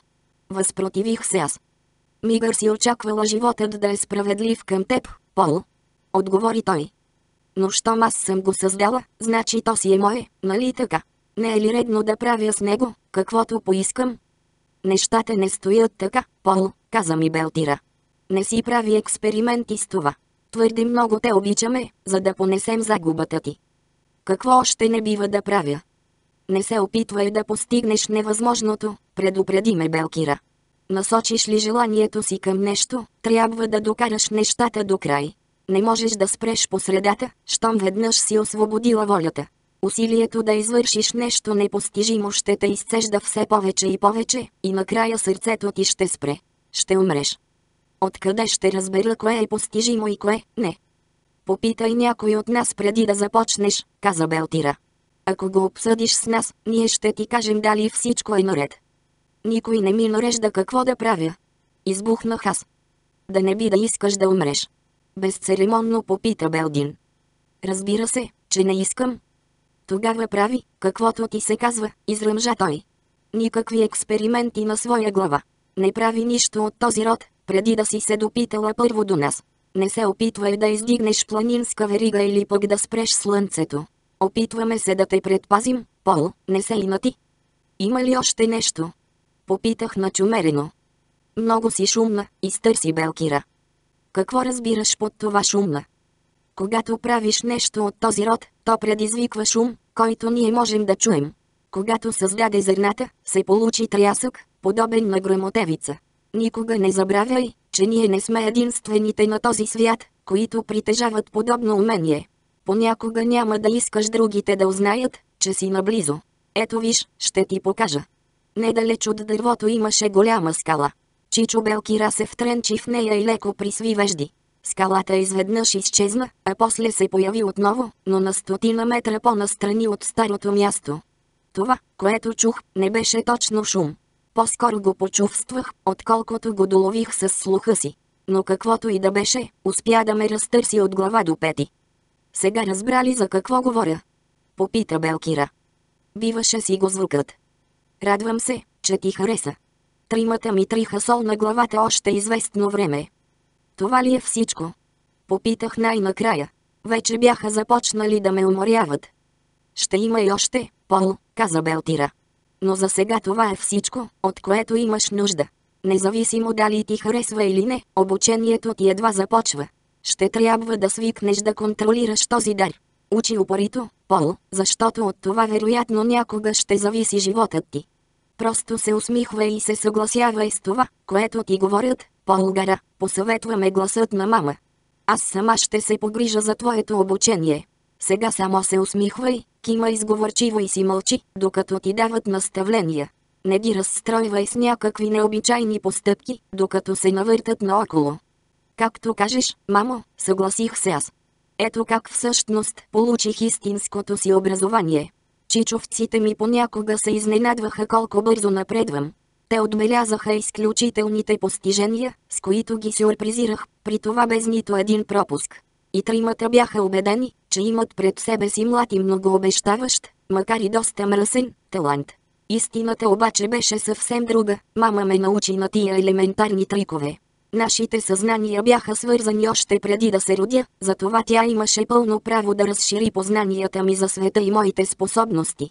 Освен това беше къде-къде по-добра учителка от моите чичовци. По онова време Чичо Белдин трябваше да замине за изпълнението на някаква мистериозна поръчка, затова моето обучение падна на плещите на близнаците. Или поне те така си мислеха. В действителност мама ме научи на повечето от това, което мога днес. Естествено, аз разказвах на Белдаран всичко, което ставаше с мен. Двете нямахме никакви тайни една от друга. Когато научи за станалото, сестра ми се изпълни с купнеш и тъга. Какво точно е това? Попита тя. Ще ти покажа, отговорих. А после може и сама да опиташ.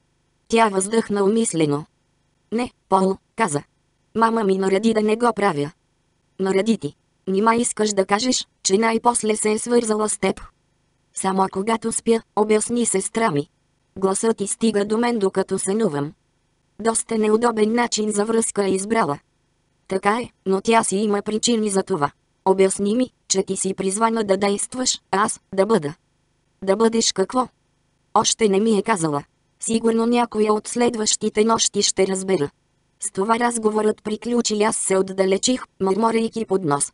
Мама беше изредила кои неща е безопасно да правя и аз повторих всички упражнения. Преместването на предметите беше много забавно, пък и ми помагаше да тренирам заглушаването на шума. Цял ден разни неща прелитаха по моя воля насам натам из долината. Моето образование, както го наричаха чичовците ми, ме откъсваше за дълго време от дървото и от птиците. Това никак не ми харесваше. Вече отдавна знаех всичко, което те ми обясняваха надълго и на широко, а безкрайните уроци ми се струваха скучни и монотонни. Сдържай характера си, Полгара, скастри ме мама веднъж, когато търпението ми се беше изчерпало и бях на път да избухна. Но всичко това е толкова отекчително. Възпротивих се аз. Тогава си мисли за нещо друго. За какво да мисля? Близнаците научиха ли те да готвиш? Попита тя. Хората обичат хубавичко да обгорят храната си в огъня преди да я изядат. Това според мен е загубено време, но с нищо не мога да го променя. Така получих две образования. По едно и също време се научих както да премествам различни предмети, така и всичко за подправките. Открих, че мога предварително да усетя как дадена подправка ще промени вкуса на гозбата ми. Това наблюдение ми помогна да изпреваря близнаците с готварските си умения. Те измерваха прецизно всичко, което слагаха в яденето.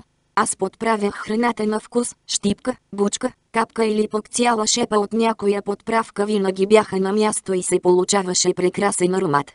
По това време настъпи един много важен ден, по-скоро нощ, в моя живот, когато майка ми разкри тайната за промяната на формата.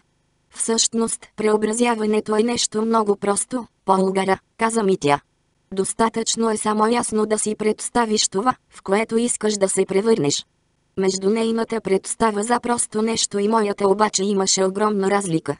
Перата на опашката са много къси, каза критично тя при третия ми опит. Опитай пак. Отнеми цели часове, докато налучкам желаната от мен форма. Вече бях готова да се откажа. Ако опашката беше както трябва, човката или ногтите не приличаха на нищо. После пък перата на крилете не бяха достатъчно гъвкави. Друг път очите се получаваха твърде малки. Когато бях съвсем изтощена и ми идваше да ревна с глас, мама най-сетне каза, това май изглежда добре. А сега просто се прелее в тази форма. Способността на майка ми да вижда директно в моя ум я правеше най-добрият учител, който можех да си пожелая. Започнах постепенно да се вмъквам в образа, който бях изградила във въображението си.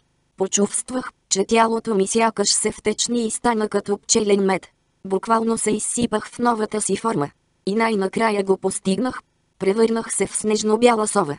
Непосредственият контрол на мама върху моето съзнание невероятно облегчи и следващата задача. В летенето има твърде много тънкости и детайли, за да се освои бързо. Майка ми просто прехвърли всички необходими движения на мускулите и най-важните умения в моето съзнание. Аз само разперих още неукрепналите си криле и полетях. Най-напред покръжих малко, за да освоя безшумното летене, а после постепенно взех да увеличавам кръговете. Не бих се наела да описвам екстаза от летенето. Когато зората взе да отсветява хоризонта, аз вече бях добила уменията на птица, а душата ми бе изпълнена с непозната до тогава радост. Най-добре е вече да се връщаш в колата, Пол, посъветваме майка ми. Совите не летят през деня. Непременно ли трябва да се прибирам? Да. Нека не издаваме още нашата малка тайна. Сега приеми отново собствената си форма. Но, мамо, яростно се възпротивих аз. Утре през нощта пак ще си поиграем, Пол. А сега се върни вкъщи и промени вида си, преди някой да се е събудил. Изобщо не се зарадвах, но се подчиних. Малко след тази нощ Белдаран ме дръпна за ръкава и ми каза. Чичо Белдин се връща с татко в долината. Така ли? И как го разбра?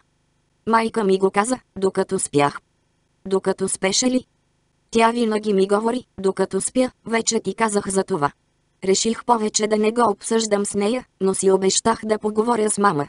Тя винаги идваше при мен, когато бях будна, но по някаква необяснима причина говореше на сестра ми единствено в неясните селения на съня. Чудех се защо ли е така. Питах се също защо мама е казала на Белдаран за завръщането на баща ни, а не си беше направила труда да предупреди мен. Беше ранна пролет, когато Чичо Белдин най-сетне доведе татко у дома. През всичките изминали години, докато татко скиташе извън долината, Чичо беше винаги последите му и ни съобщаваше за неговите безбройни приключения. Ето защо завръщането му не ме вълнуваше особено. Мисълта да се примиря, че този пияница и развратник е мой баща, никак не ми допадаше. Той не изглеждаше никак зле, когато се изкачи по стълбите на кулата. Аз обаче бях наясно, че външният вид често лъже. Тате! Извика Белдаран, втурвайки се да го прегърне. Опрощението на нечи и прегрешения е добродетел, знам, но Белдаран отиваше твърде далеч. Тогава казах нещо нелицеприятно, което сигурно трябваше да премълча. Единственото ми извинение може да бъде, че нямах никакво желание баща ми погрешно да приеме своето завръщане като причина за безмерна радост и ликуване. Не че го мразех много силно, но той определено не ми харесваше. Е, стари вълко, процедих аз с възможно най-обидния тон, виждам, най-сетне си решил да се върнеш на место престъплението. Трета глава, но това изобщо не беше всичко. При всеки удобен случай аз продължавах ясно да показвам какво точно е отношението ми към нашия баща. Не желаях погрешно да приеме, че лигавенето на Белдаран около него и сладникавото и гласче, с което му говореше, изразяват позицията на всички околни. Освен това исках да подчертая своята независимост и мога да се обзаложа, че той го схвана. Вярно, поведението ми не беше за пример, но тогава аз бях едва на 13 и имах още много ръбове за дялкане. Татко понасяше лошия ми характер и язвителните ми забележки с спокойствие и ме гледаше състрадателно, което ме вбесяваше още повече. Най-накрая бях принудена да прибегна до най-цветистите изрази от речника на Чичо Белдин, за да подчертая своето недоволство. Не че особено обичам ругатните, но бях готова на всичко, за да предизвикам поне някаква реакция у баща си. Спокойното му безразличие дори към моята отявлена наглост ме владяваше. Един ден съвсем ненадейно и безцеремонно той обяви, че двете с сестра ми ще се преместим в неговата кола, за да живеем тримата заедно. В този момент моят речник чувствително загрубя. След като баща ни напусна кулата на Чичо, ние с Белдаран поговорихме известно време на нашия таен език. Ако този идиот си въобразява дори за миг, че ще отидем при него, го чака доста неприятна изненада, заявих аз. Той е наш баща, Полгара, натърти Белдаран. Вината за това не е моя. Длъжни сме да му се подчиняваме. Да не си си загубила ума. Не, не съм, тя огледа кулата на Чичо Белдин. Най-добре е да си стегнем багажа. Аз никъде не отивам, казах решително. Твоя воля. Думите им ме стреснаха. И ти се каниш да напуснеш и да ме изоставиш. Невярващо попитах аз. Ти ме изостави първа, още като откри дървото, Пол, напомни ми тя. Ще си събереш ли багажа или оставаш? Това беше един от редките случаи, когато Белдаран ми напомняше кой е лидерът в нашата група. Обикновено постигаше целта си по по-деликатен начин. Тя отиде в най-разхвърлената и претрупана част от кулата на Чичо Белдин и започна да рови издървените съндъци, които той беше струпал. По тона ви подразбрах, че имате някакви противоречия, а, момичета? Попита Меко Белдин. По-скоро е временно прекратяване на взаимоотношенията, отвърнах дръзко аз. На твое място не бих бил толкова категоричен, Пол. Чичо Белдин ни беше отгледал и беше наясно с иерархията в нашите взаимоотношения. Това е правилното решение и е добре да го последваш, Пол, каза през рамо Белдаран. Длъжни сме да се подчиняваме на баща ни и трябва, ако не да го обичаме, то поне да го уважаваме. Да го уважаваме. Нищо не може да ме накара да уважавам този пияндор, който при това не е с всичкия си. Хубаво, Пол. Постъпи, както намериш за добре. Аз ще му се подчиня и няма да ти се налагам. Но нали все пак ще ми се обаждаш от време на време. Как бих могла да отвърна на това? Сега сигурно вече сте разбрали каква власт имаше над мен Белдаран. Тя никога не избухваше и не нарушаваше благия си и спокоен тон. Но всъщност това беше голяма заблуда. Заповедта си е заповед, независимо по какъв начин е изречена. Втренчих се безпомощно в нея. Не мислиш ли, че е време да си събереш нещата, скъпа сестрице? Попита сладко тя. Изхвъркнах като подгонена от кулата и се втурнах към дървото да си излея пред него лошото настроение. Няколко резки и отсечени отговори накараха дори моите птици да ме изоставят. Цялата нощ прекарах в клоните на дървото. Надявах се, че тази раздяла, която беше противоестествена за нас, ще накара сестра ми да се опомни, но тя показа, че под нейната сладка и невинна външност се крие железен характер и се премести в кулата на баща ни. След като живях ден-два в непоносима самота, аз нацупено се присъединих към тях. Гледах да не се задържам в затъналата в безредие кула. Връщах се само, за да спя там, но рядко сядах на масата с баща ми и Белдаран. Беше лято и дървото се превърна в мой истински дом, а птиците ми правеха компания. Сега като се замислям, откривам странно противоречие в моя летен празник в клоните на дървото. На първо място, разбира се, аз исках да накажа Белдаран за това, че ме предаде. Но всъщност стоях при дървото, защото там ми харесваше. Обичах птиците, а и мама беше постоянно с мен, докато драсках нагоре-надолу и склоните, приемайки различни форми. Установих, че катериците са много подвижни и ловки. Естествено, всеки момент можех да се преобразя в коя да е птица и да хвъркна до най-високите клони, но катеренето ми доставяше по-голямо удоволствие.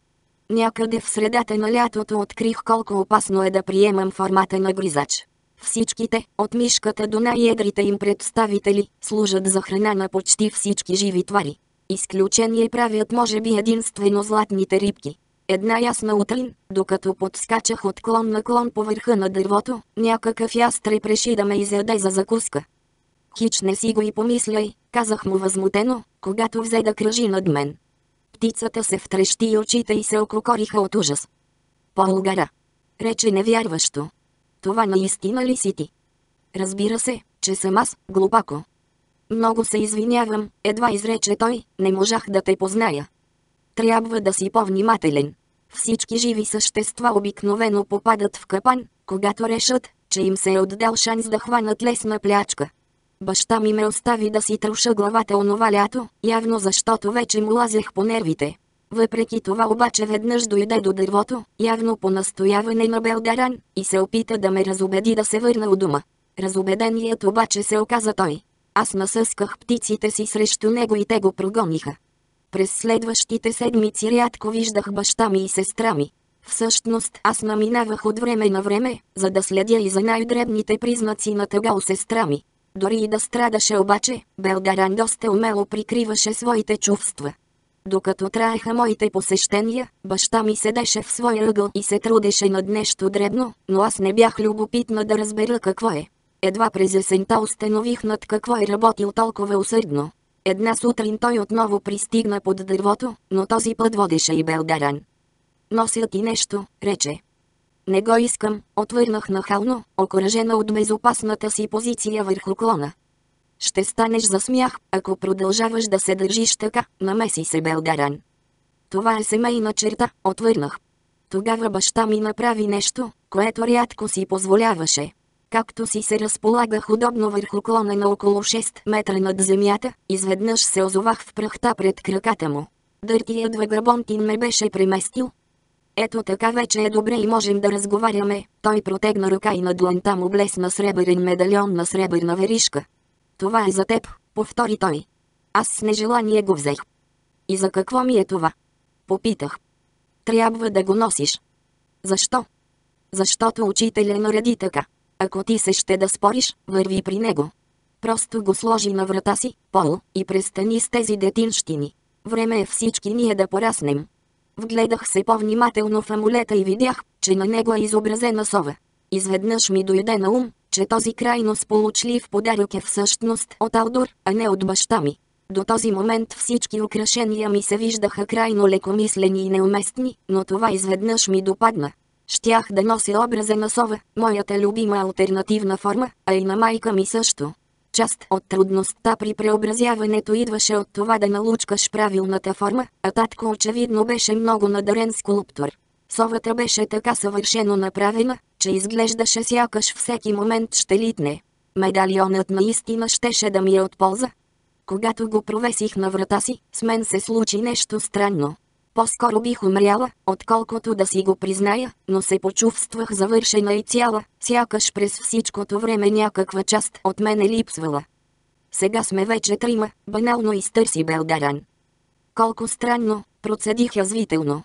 Нима знаеш да броиш. Неочакваното въздействие на бащиния подарък върху мен ме беше извадило от равновесие и усещах нужда да си го изкарам на някого. Който и да е той. Не бъди толкова груба, каза Белдаран. Знам, че си по-умна от мен, Пол, затова няма нужда да ми го натякваш постоянно.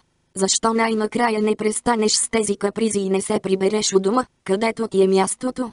Мой водещ принцип през целия ми до тогавашен живот беше да не позволявам на никого да ми диктува какво да правя. В онзи миг под дървото Белдаран ми отвори очите. Тя можеше, а понякога си и позволяваше, да ми нарежда.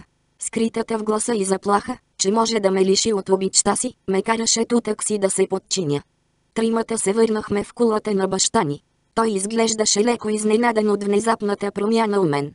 Подозирам, че и до ден днешен не си дава ясна сметка каква безпределна власт имаше Белдаран над мен. Вероятно за да скрие своето объркване, той ми предложи недоизядените остатъци от тяхната закуска. Веднага установих, че най-могъщият магиосник в света не струва пукната пара като готвач. Нарочно ли докара този вкус на храната, татко? Попитах невинно. Сигурно е така, защото едва ли някой е способен да постигне случайно толкова ужасно нещо. Ако не ти харесва, Пол, кухнята е и там. Напротив, татко, мисля, че всичко си е както трябва, казах с насмешливо очудване. Защо ли не съм разбрала до сега как е най-правилно да се приготвя храната? Сигурно ти се отдава така добре заради всички тези книги и свитъци, които си натрупал по масата. Той свира мене. Трябва да имам нещо за четене, докато готвя. Усетих, че си бил разсеян. Не би развалил такова количество храна, ако внимаваше. После с едно замахване на ръката изпратих всички бумаги на пода. От сега нататък дръж всички тези занимавки далеч от моята кухня, татко. Защото следващия път ще ги изгоря. Твоята кухня. Все някой трябва да готви в тази къща, а ти си толкова несръчен, че по-добре да си държиш пръстите далече от печката. Той не ми отвърна, защото беше твърде заед да си събира книгите от пода.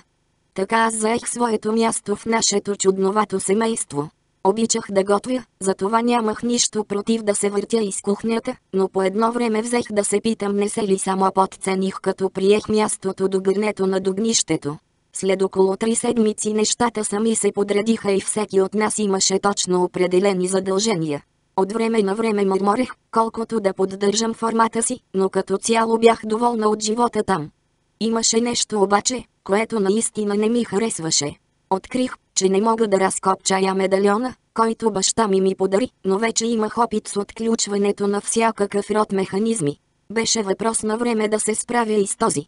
Оказа се обаче, че е доста сложен. Не вярвах баща ми да го е измислил сам.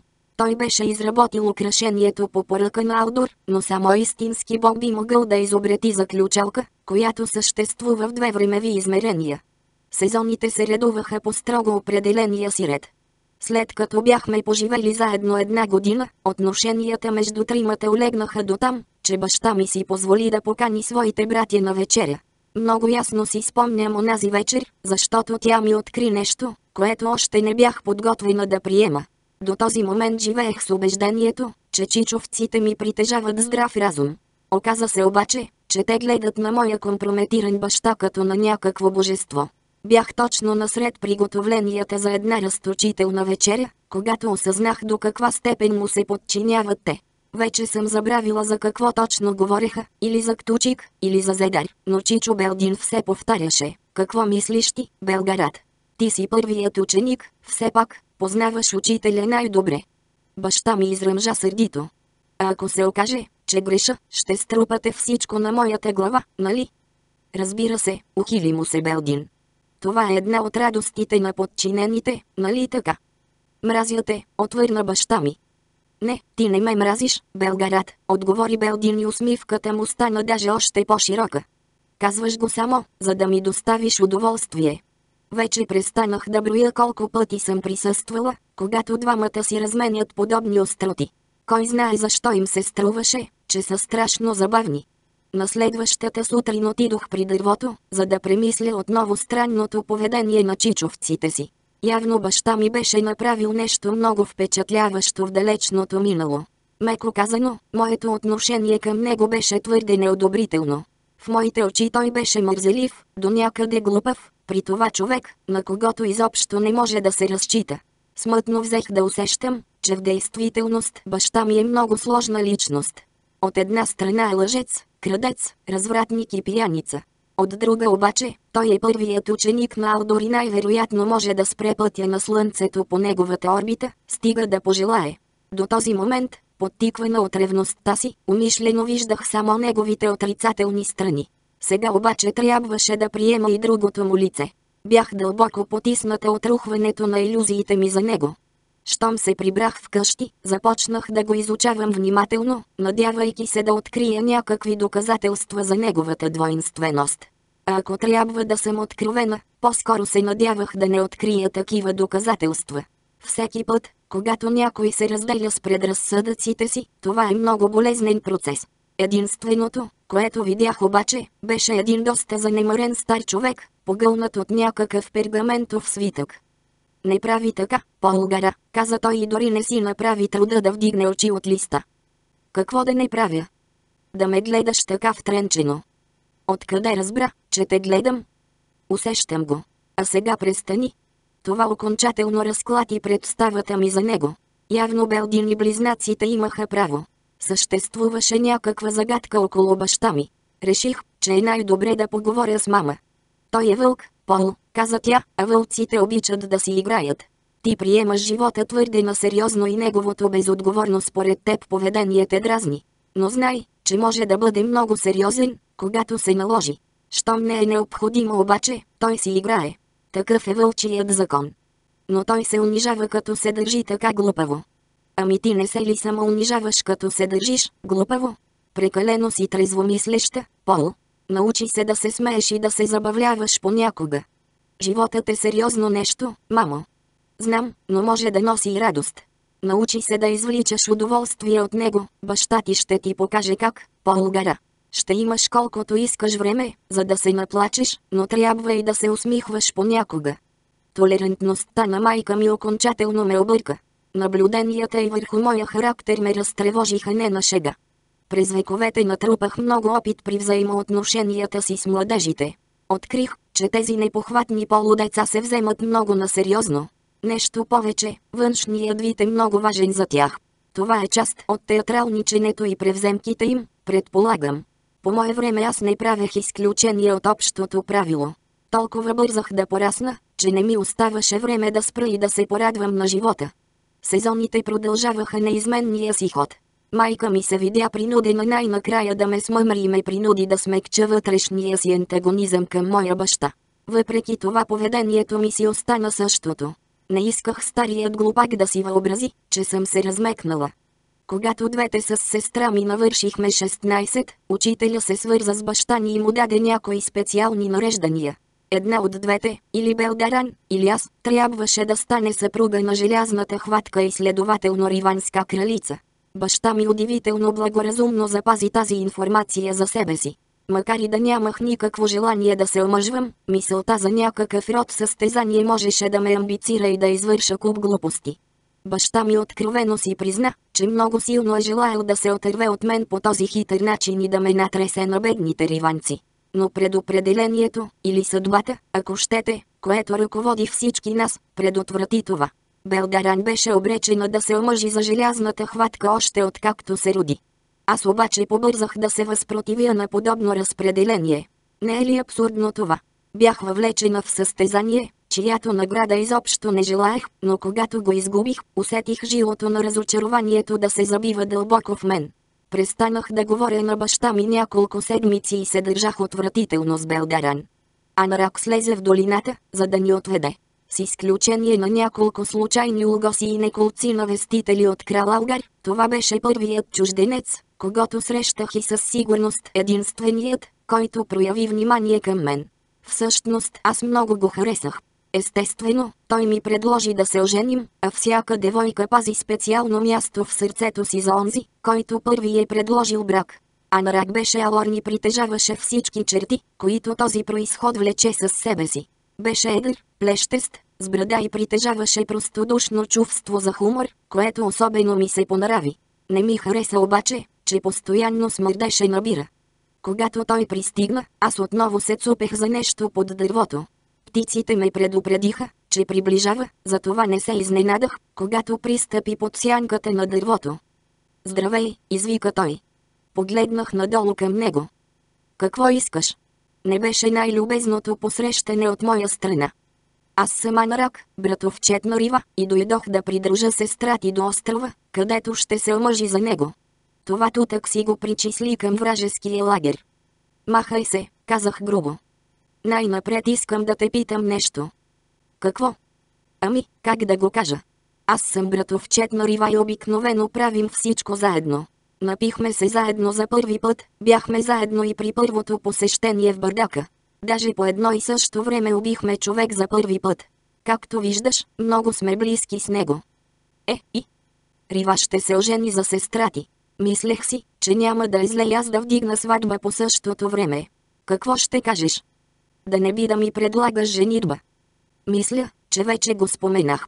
Сега за първи път предлагам брак на някоя девойка и не съм много умел в тези неща. Та какво мислиш по въпроса? Мисля, че чавка ти е изпила ума. Та ние даже не се познаваме. Ще имаме достатъчно време да се опознаем след сватбата. Да или не? Не бихте могли да вържете косур на Анарак за неговата откровеност. Той беше от хората, които поставят въпроса ребром. Аз се изсмях на среща му, а това сякаш малко го засегна. Какво му е смешното? Попита нацупено той. Ти си смешен. Да не си въобразяваш, че бих се омъжила за някой абсолютно непознат човек. При това звит на плъх, който се крие из храстите. Това пък откъде го измисли? Ами цялото ти лице е обрасло в космалаци. Това е брадата ми. Всички алорни носят бради. Сигурно алорните още не са изобретили бръснача. Я ми кажи, Анарак, твоите хора поне успяха ли да измислят колелото? А случайно да сте открили огъня? Няма нужда да ме обиждаш. Само кажи да или не. Е, добре, не. Достатъчно ясна ли бях? Но като поразмислих, реших да смекча тона. Разговорът ми е лишен от здрав разум, казах му. Аз не те познавам, пък и не ми харесваш. Братовчет ти също не го познавам, но и той не ми се нрави. Изобщо не мога да понасям цялата ви смръдлива раса. Всички нещастия в моя живот са причинени от алорни. Наистина ли си въобразяваш, че бих се омъжила за някой от вас? Най-добре се махай, колкото се може по-скоро, а на рак, иначе ще те превърна в жабок. Излишно е да се държиш толкова отвратително. Мисля, че нямаш причина да се гордееш с себе си. Няма да повтарям как точно му отговорих тогава, защото тази книга може да попадне в ръцете на деца, но Анарак изглеждаше явно впечатлен от това колко цветиста може да бъде речта ми. Хубаво, успя да пророни накрая, щом така мислиш, май няма нужда повече да те убеждавам. После сърдито се връцна и се втурна към долината, мърморейки си нещо под носа. Горкият Анарак. Чувствах надигащото се в мен недоволство, че някакъв непознат алор ще ми отнеме сестрата, затова той имаше привилегията да изпита на гърба си силата на моя гняв. Хич нямах намерение да ходя до острова на бурите, за да присъствам на тази противна церемония. Щом Белдаран беше решила да се омъжва за алорнския касапин, то нека го прави без моята благословия или присъствие. Когато обаче всичко беше готово за пътуването, сестра ми дойде при дървото и ме убеди да променя решението си. Най-напред започна да ми говори на нашия таен близначески език, който почти бях забравила.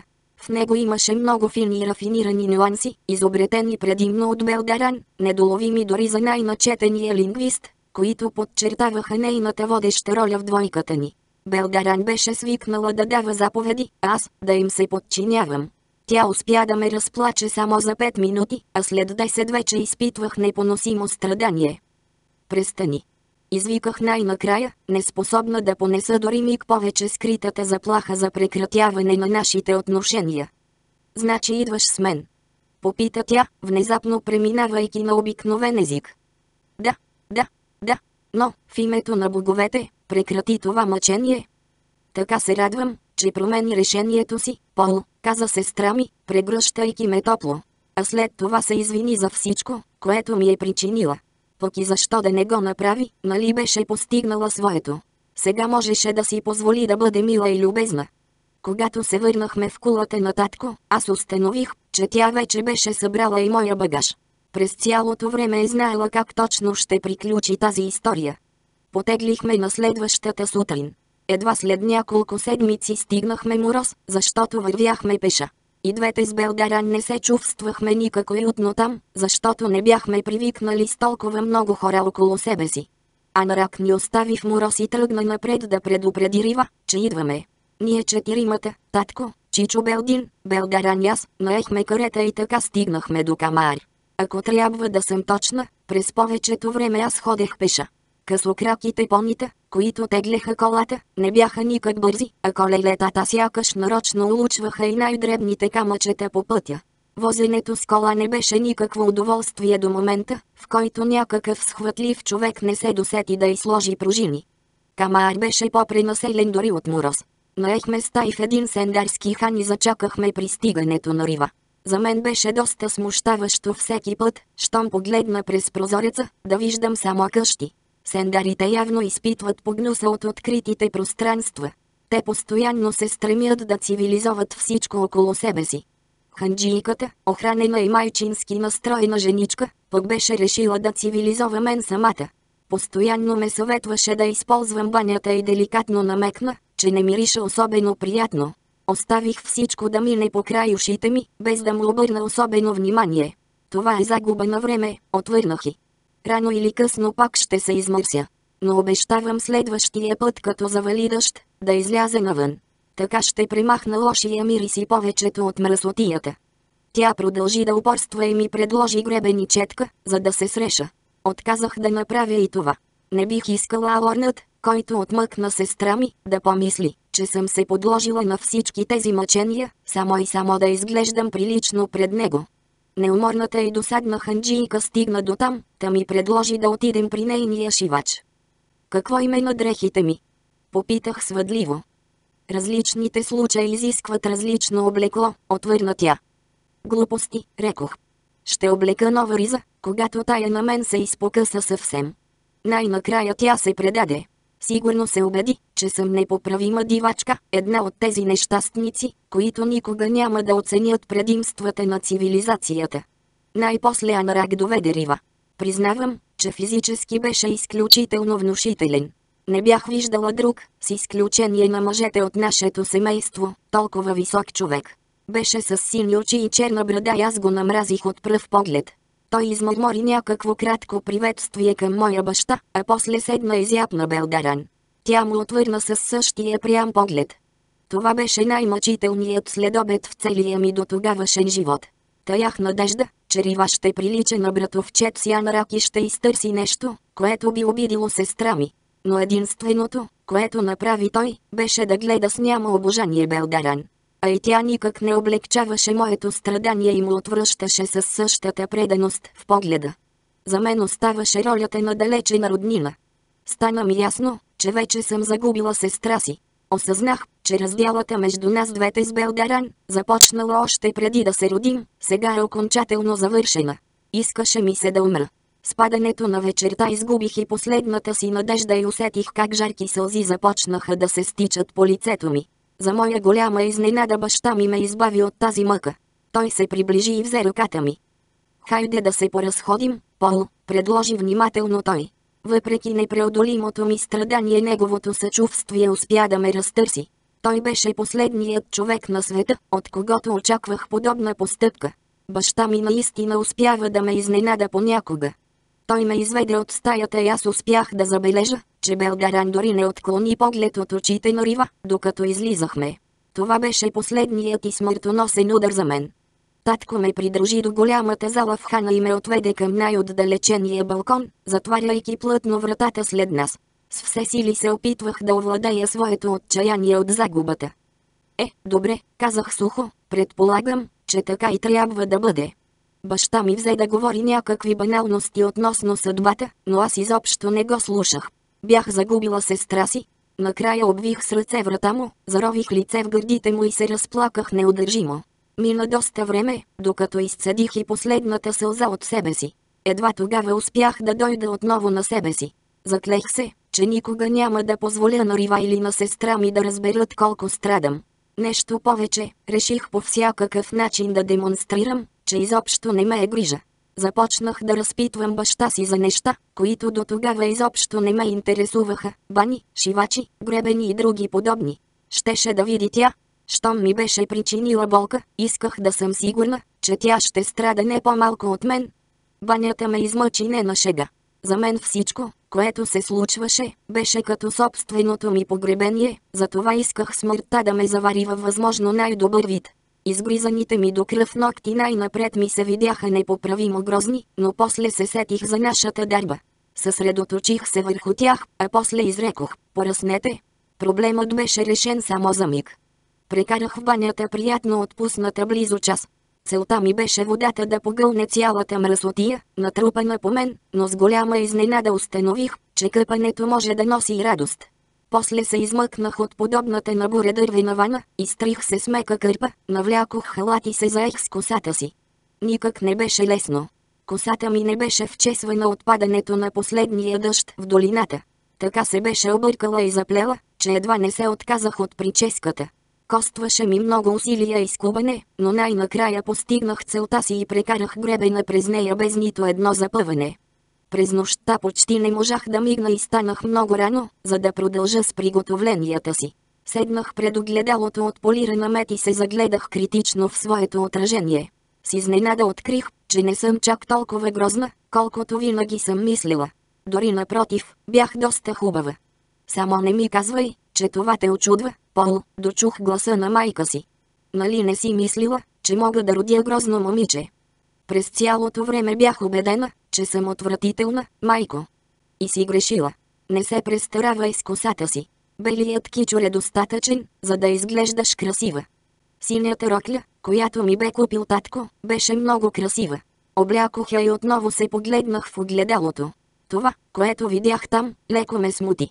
Не можеше да има и най-малко съмнение, че бях истинска жена. До този момент не бях обръщала никакво внимание на доказателствата за моята женственост, но това вече беше невъзможно. Роклята правеше принадлежността ми към нежния пол повече от очевидна. Обувките обаче ми създадоха истинска грижа. Те бяха с остри носове и не много високи токчета, но убиваха непоносимо краката ми.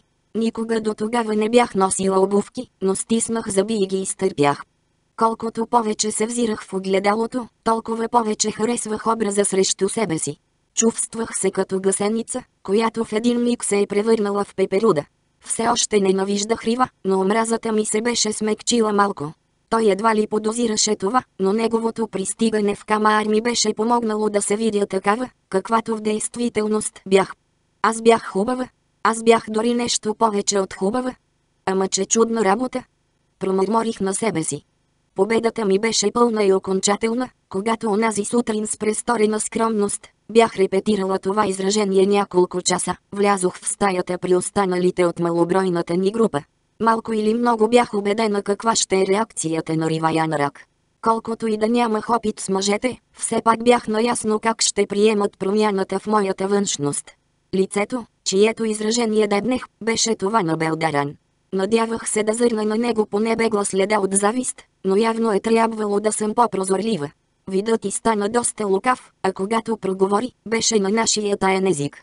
Това, което имаше да ми каже, беше твърде лично. Е, най-накрая, рече тя, а после ме прегърна горещо.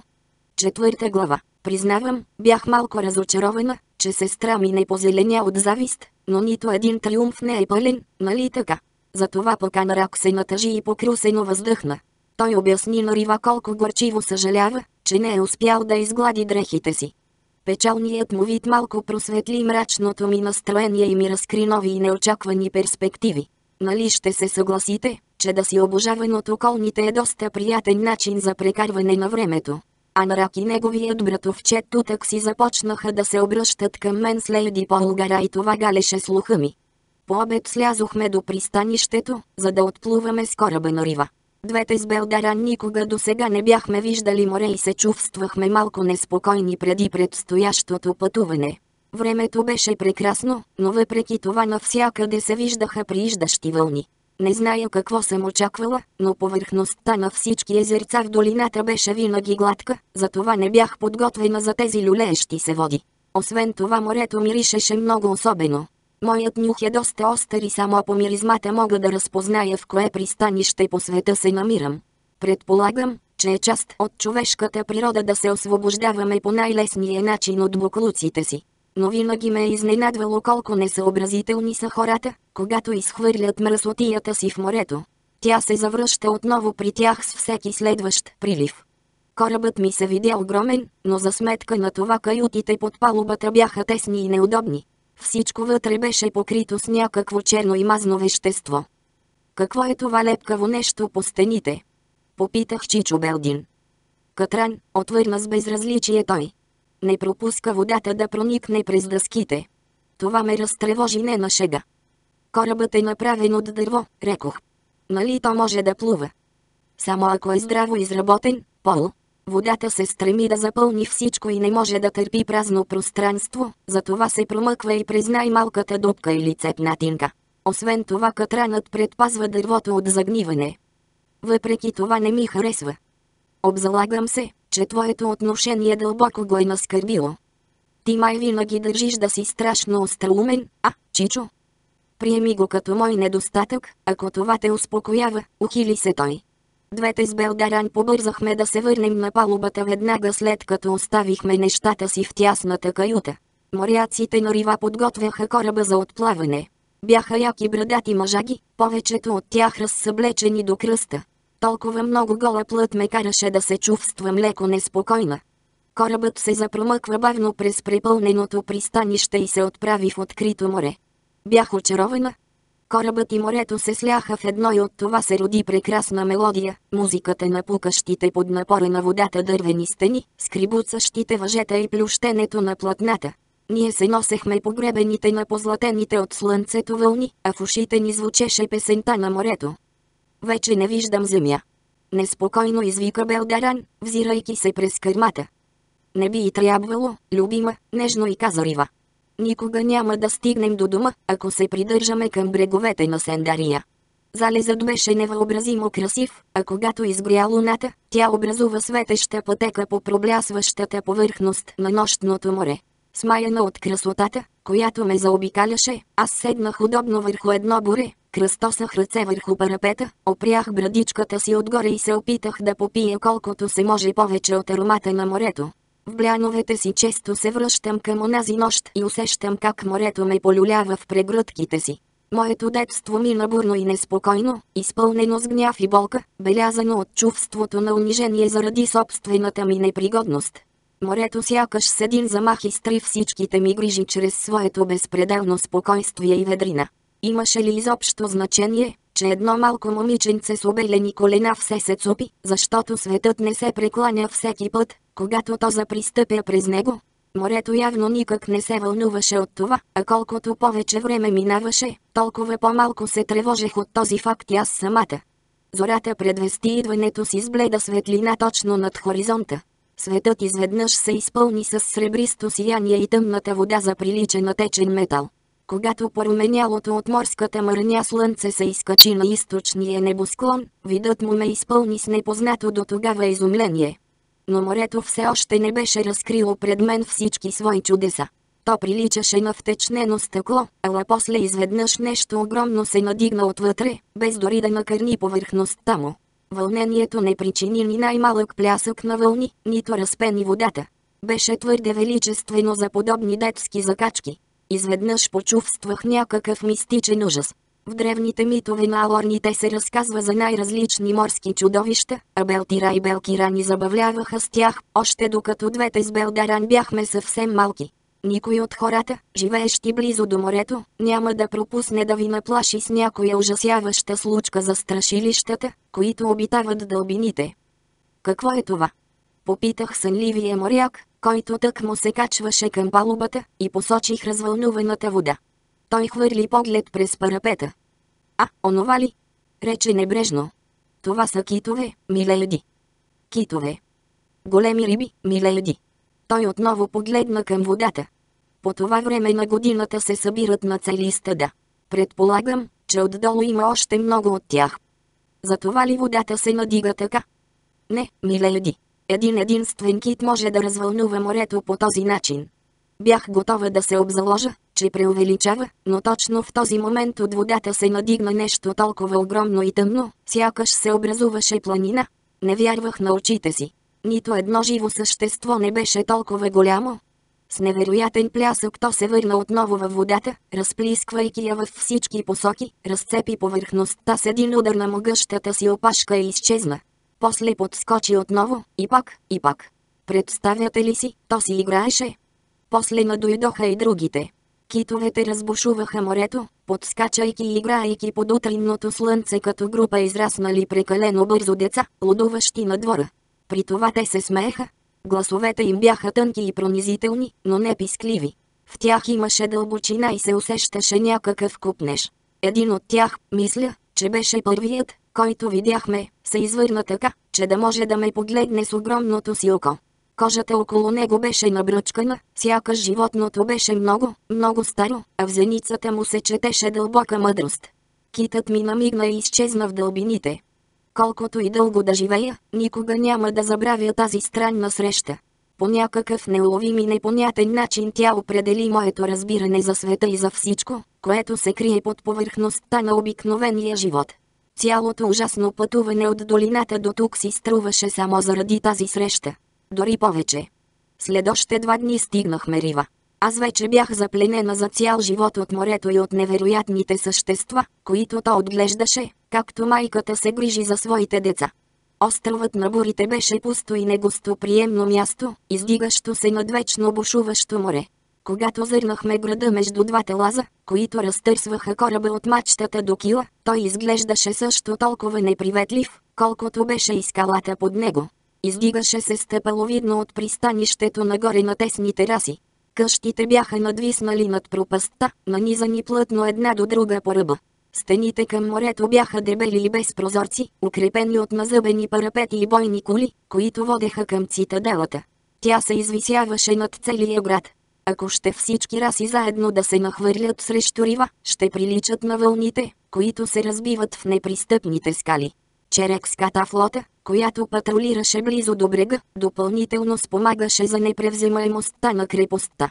Всичко това би могло да охлади желанието на която и да е раса да воюва срещу Рива. Торак е луд, но не чак толкова. Онази сутрин двете с Белдаран положихме специални грижи за външния си вид, за да изглеждаме представителни. Белдаран щеше да стане риванска кралица и искаше да направи добро впечатление на бъдещите си поданици. Аз нямаше да ставам кралица и моята амбиция беше насочена към една определена част от тукашното население. Реших да съсредоточа усилията си към всички млади мъже и да ги поразтърся малко. Колко вълнуващо е да те обожават всички наоколо. Леко разтревоженото изражение на баща ми още повече повиши моя боен дух. Хич не си го и помисляй, Полгара, предупреди ме гласът на майка. Това, което виждаш по всички тези глупави и суетни мъжки лица, не е любов. Младите мъжкари, от който и вид да са те, имат желания, които не могат да контролират. В техните очи ти не си личност, а обект за завоевание. Нали не искаш да те смятат за обикновен предмет? Перспективата да се причисля към неодушевените предмети леко помрачи радостта ми от мига. Обикновено риванците носят дрехи в сив цвят. Останалите западни раси ги наричат сиводрехите. Младежите обаче не се съобразяват много с традициите. Изначалният бунт на младите явно беше причина за най-невероятните кройки и цветове в облеклото им. Колкото по-нелепа е някоя мода, толкова по-сляпо я следват всички младежи. Тълпата юноши край кея ми заприлича на цветна градина, засадена от някой напълно лишен от вкус градинар. Мяркаха се мъжки жакети в такива разцветки и нюанси, за които дори не можех да намеря подходящо име. Някои от елеците преливаха във всички цветове на дъгата, а крещящите им багри изобщо не подхождаха една с друга. Всеки от моите бъдещи обожатели обаче беше убеден, че неговата дреха е толкова великолепна, та никой момиче с здрав разум не би устояло. Напуши ме неудържим смях. Загрижеността на баща ми за моята заплашена от неприятелски атаки девственост беше абсолютно неоснователна. За нищо на света не бих се отдала на някой младок, чието вид може единствено да ме разсмее до сълзи. Когато моряците закотвиха кораба и събраха въжетата, ние стъпихме на твърда земя и поехме нагоре по безчислените стълби към риванската цитадела. Оказа се, че стъпаловидните стени, защищаващи града от нападателите, са в същото време и част от домовете на неговите обитатели. Отвън къщите изглеждаха сурови и неприветливи, но скоро открих, че вътрешността им е изключително красива. По много неща те приличат на самите риванци. Улиците на града бяха тесни и еднообразно прави. Подозирах, че Рива плътно се е придържал към съветите на Белар, докато са строили града. Всичко в селището беше съобразено с целите на отбраната. Най-отгоре стълбите завършваха с гола площадка, оградена с масивна стена. Големината на грубо обработените камъни, от които беше направен зида, ме потресе. Мащабите на непосилния физически труд, който явно е погълнало това строителство, бяха смайващи. Ние преминахме през обкована с железни гвозда и тежка врата и влязохме в бъдещия дом на сестра ми. Той имаше потискащо мрачен вид. Повървяхме доста из тъмните коридори, преди да стигнем нашите покой. Двете с сестра ми бяхме временно настанени в няколко доста приятни стаи. Казвам временно, защото Белдаран съвсем скоро щеше да се премести в кралските покой. Забавляваш се, нали, Пол? Попита сестра ми, щом останахме насаме. Тя говореше на тайния ни език и гласът и звучеше малко тъжно. Не разбирам за какво говориш, отвърнах. Сега, когато реши да станеш красива, всеки срещнат младеж се захласва по теб и започва да ти се умилква. Ти винаги си била красива, Белдаран, припомних аз. Тя леко въздъхна. Знам, но никога не съм имала възможността да се възползвам от това. Не познавам чувството на превъзходство, когато всички наоколо са онемели от възхищение. Наистина е много приятно, разсмях се аз. Всички изглеждат толкова глупаво. Но ако ти липсва преклонение, вземи си някакво домашно животинче. Тя също се разсмя. Чудя се дали всички млади мъже са толкова глупави, колкото са риванците. Тръпки ме побиват при мисълта, че ще бъда кралица на идиоти. Мама твърди, че това се отнася почти без изключение за всяка точка на света, казах, и не се среща само при хората. Вълците и зайците се държат по същия начин. Боговете са измислили този порядък, предполагам, затова винаги наоколо ще има тълпи от предани обожатели. Това звучи доста потискащо, Пол. Излиза, че единствената причина, поради която съм тук, е да народя бебета. Моля да ме извиниш, но сега смятам да разбия няколко сърца. Недалеч от центъра на цитаделата имаше голяма зала, където членовете на Риванския двор се събираха за забавления и игри. Тронната зала се отваряше само при официални случаи. За разлика от шумната тронна зала в Валалорн, където череките смесваха работата и удоволствията, в Рива имаше отделни помещения за тези занимания. Вратата на помещението беше отворена и аз надзърнах вътре, за да огледам каква е конкуренцията ми. Почти всички ривански момичета бяха руси, каквито са и повечето алорни. Тутък си осъзнах своето предимство. Черната ми коса на часа щеше да ме отличи сред тези светли глави, които приличаха на житна нива. Младежите в залата се занимаваха с всичко, присъщо на възрастта им, флиртуваха, перчеха се или разбутваха съперниците си около някоя дама, все неща от този род. Зачаках търпеливо подходящия момент, когато някое временно затишие щеше да отложи за малко неспирното жужене. Бях сигурна, че рано или късно той ще настъпи. И тогава аз величествено ще пристъпя през прага. Първата поява е от особено значение при такива обстоятелства. Най-накрая ми омръзна да чакам. Майко, накарай ги да млъкнат, помолих настойчиво невидимата сила, която владееше ума ми още преди да се родя. О, скъпа, въздъхна мама. И в същия миг над пъстрото натруфено множество се възцари тишина. Сякаш ми се причу звук от фанфари при моето влизане, но може и само така да ми се е сторило. Аз внимателно пристъпих през вратата и зачаках всички да ме забележат. Синята ми официална рокля беше много красива, така че нямаше как да не привлече вниманието им. Предполагам, че мама или Покалдор са се поддали на моя замисъл. На отсрещната стена имаше голям прозорец и само миг след като се появих на прага, слънцето проби облаците, които постоянно покриват небето над острова. Лъчите му проникнаха в залата и ме огряха от глава до пети. Това беше дори по-впечатляващо от фанфарен звук. Стоях царствено, обградена с ореол от слънчева светлина, позволявайки благосклонно на всички присъстващи да се насладят на моето великолепие. Всемогъщи богове, това беше възхитително. Признавам, всичко беше суетно и доста глупаво, но какво от това? Бях млада. В най-отдалечения край на залата имаше малка група музиканти, трудно бих могла да ги нарека оркестър, и те подхванаха някаква мелодия, щом влязох вътре. Както и се надявах да стане, повечето младежи се насочиха към мен. Всеки от тях усилено търсеше в ума си някоя остроумна забележка, с която се надяваше още в самото начало да привлече вниманието ми. Не можете да си представите колко престорени и безсъдържателни бяха някои от тези първи фрази. След като през следващия четвърт час сравняваха очите ми с пролетно небе, аз установих, че художествената словесност не е особено разпространена сред младите мъже. Почувствах как буйните води на баналността ме повличат неудържимо. Издържах стоически сравненията с летен ден, с звездна нощ, даже с високи тъмни върхове, покрити с сняг, доста явен намек за белия кичур в косата ми. Младежите кръжаха около мен като ято връбци, а всеки от тях се опитваше да избута с лакът своите съперници. Всичко това доста вкисна настроението на риванските девици. Един русокос младеж с твърде приятен вид, облечен в зелен жакет, си проби път в тълпата от обожатели и се поклони твърде наперено. О, рече той, предполагам, че имам честа да съм пред Лейди Полгара. Това направо си беше оригинален начин за запознанство. После той се ухили нелепо на среща ми. Ужасно, нали? Имам предвид всички тези празни разговори. Колко ценни часове може да загуби човек, разговаряйки за времето? Това тутък си предизвика няколко мрачни погледа в негова посока, а моите ухажори започнаха трескаво да прехвърлят в ума си казаното от тях до сега. Убеден съм, че двамата с вас можем да открием по-интересна тема за разговор, продължи ласкателно той, например, политика, теология, последните модни тенденции, ако щете. Явно му се чеше пипето. За всичко ще му дойде времето, парирах глас. Как ви е името? Той се плесна по челото с престорено огорчение.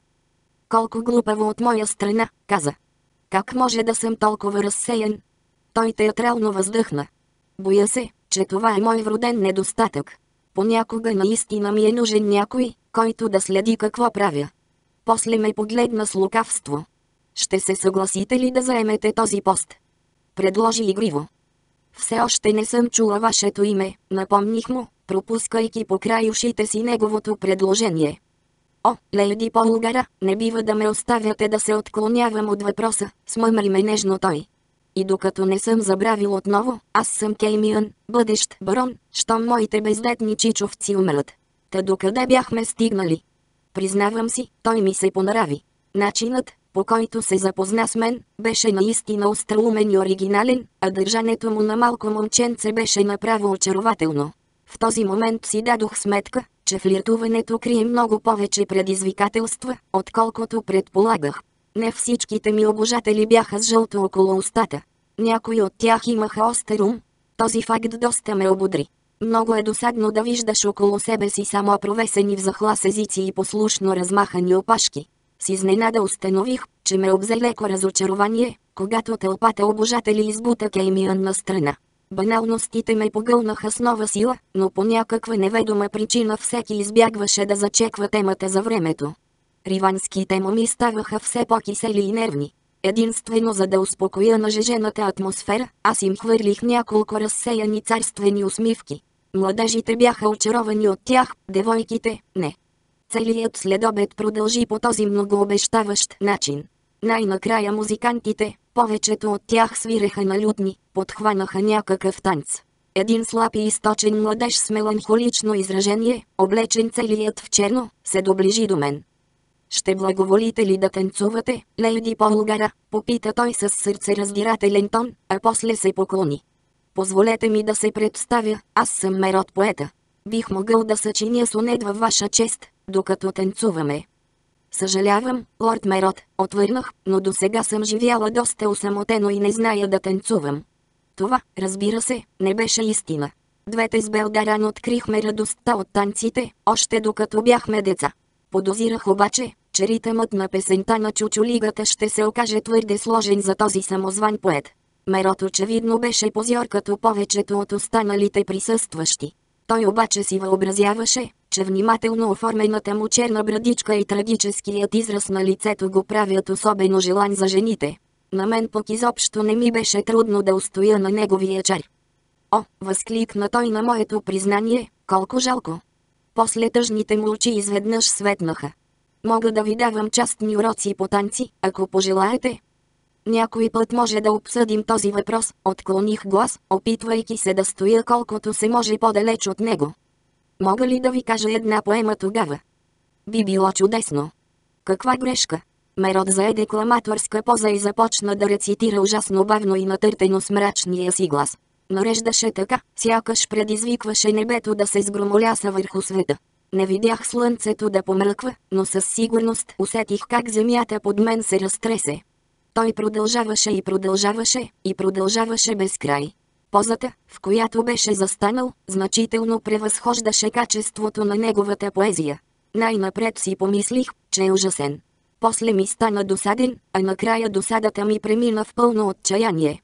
Изразително извъртях очи към тавана. Неколци на мои обожатели на мига схванаха намека и побързаха да ми се притекат на помощ. Мерот продължаваше да стои все така на едно и също място, докато на събралите се около него слушатели лека по лека започнаха да се изнизват. Може би ме беше харесал, но очевидно харесваше повече самия себе си. Забелязах, че останалите жени в залата започнаха все по-ясно да показват своето недоволство и нетърпение. Въпреки подканящите им изражения, дансингът пустееше. Моите ухажори видимо не желаяха да си отвличат вниманието. Няколко дами се престориха, че имат главоболие и побързаха тихо да напуснат залата. Може и да си въобразявам, но след като излязоха май дочух звук, сякаш някой си гризе ногтите от ярост. Това беше най-прекрасната музика за моя слух. Когато вечерта взе да се спуска на дострова на бурите, Тайгун се присъедини към нас.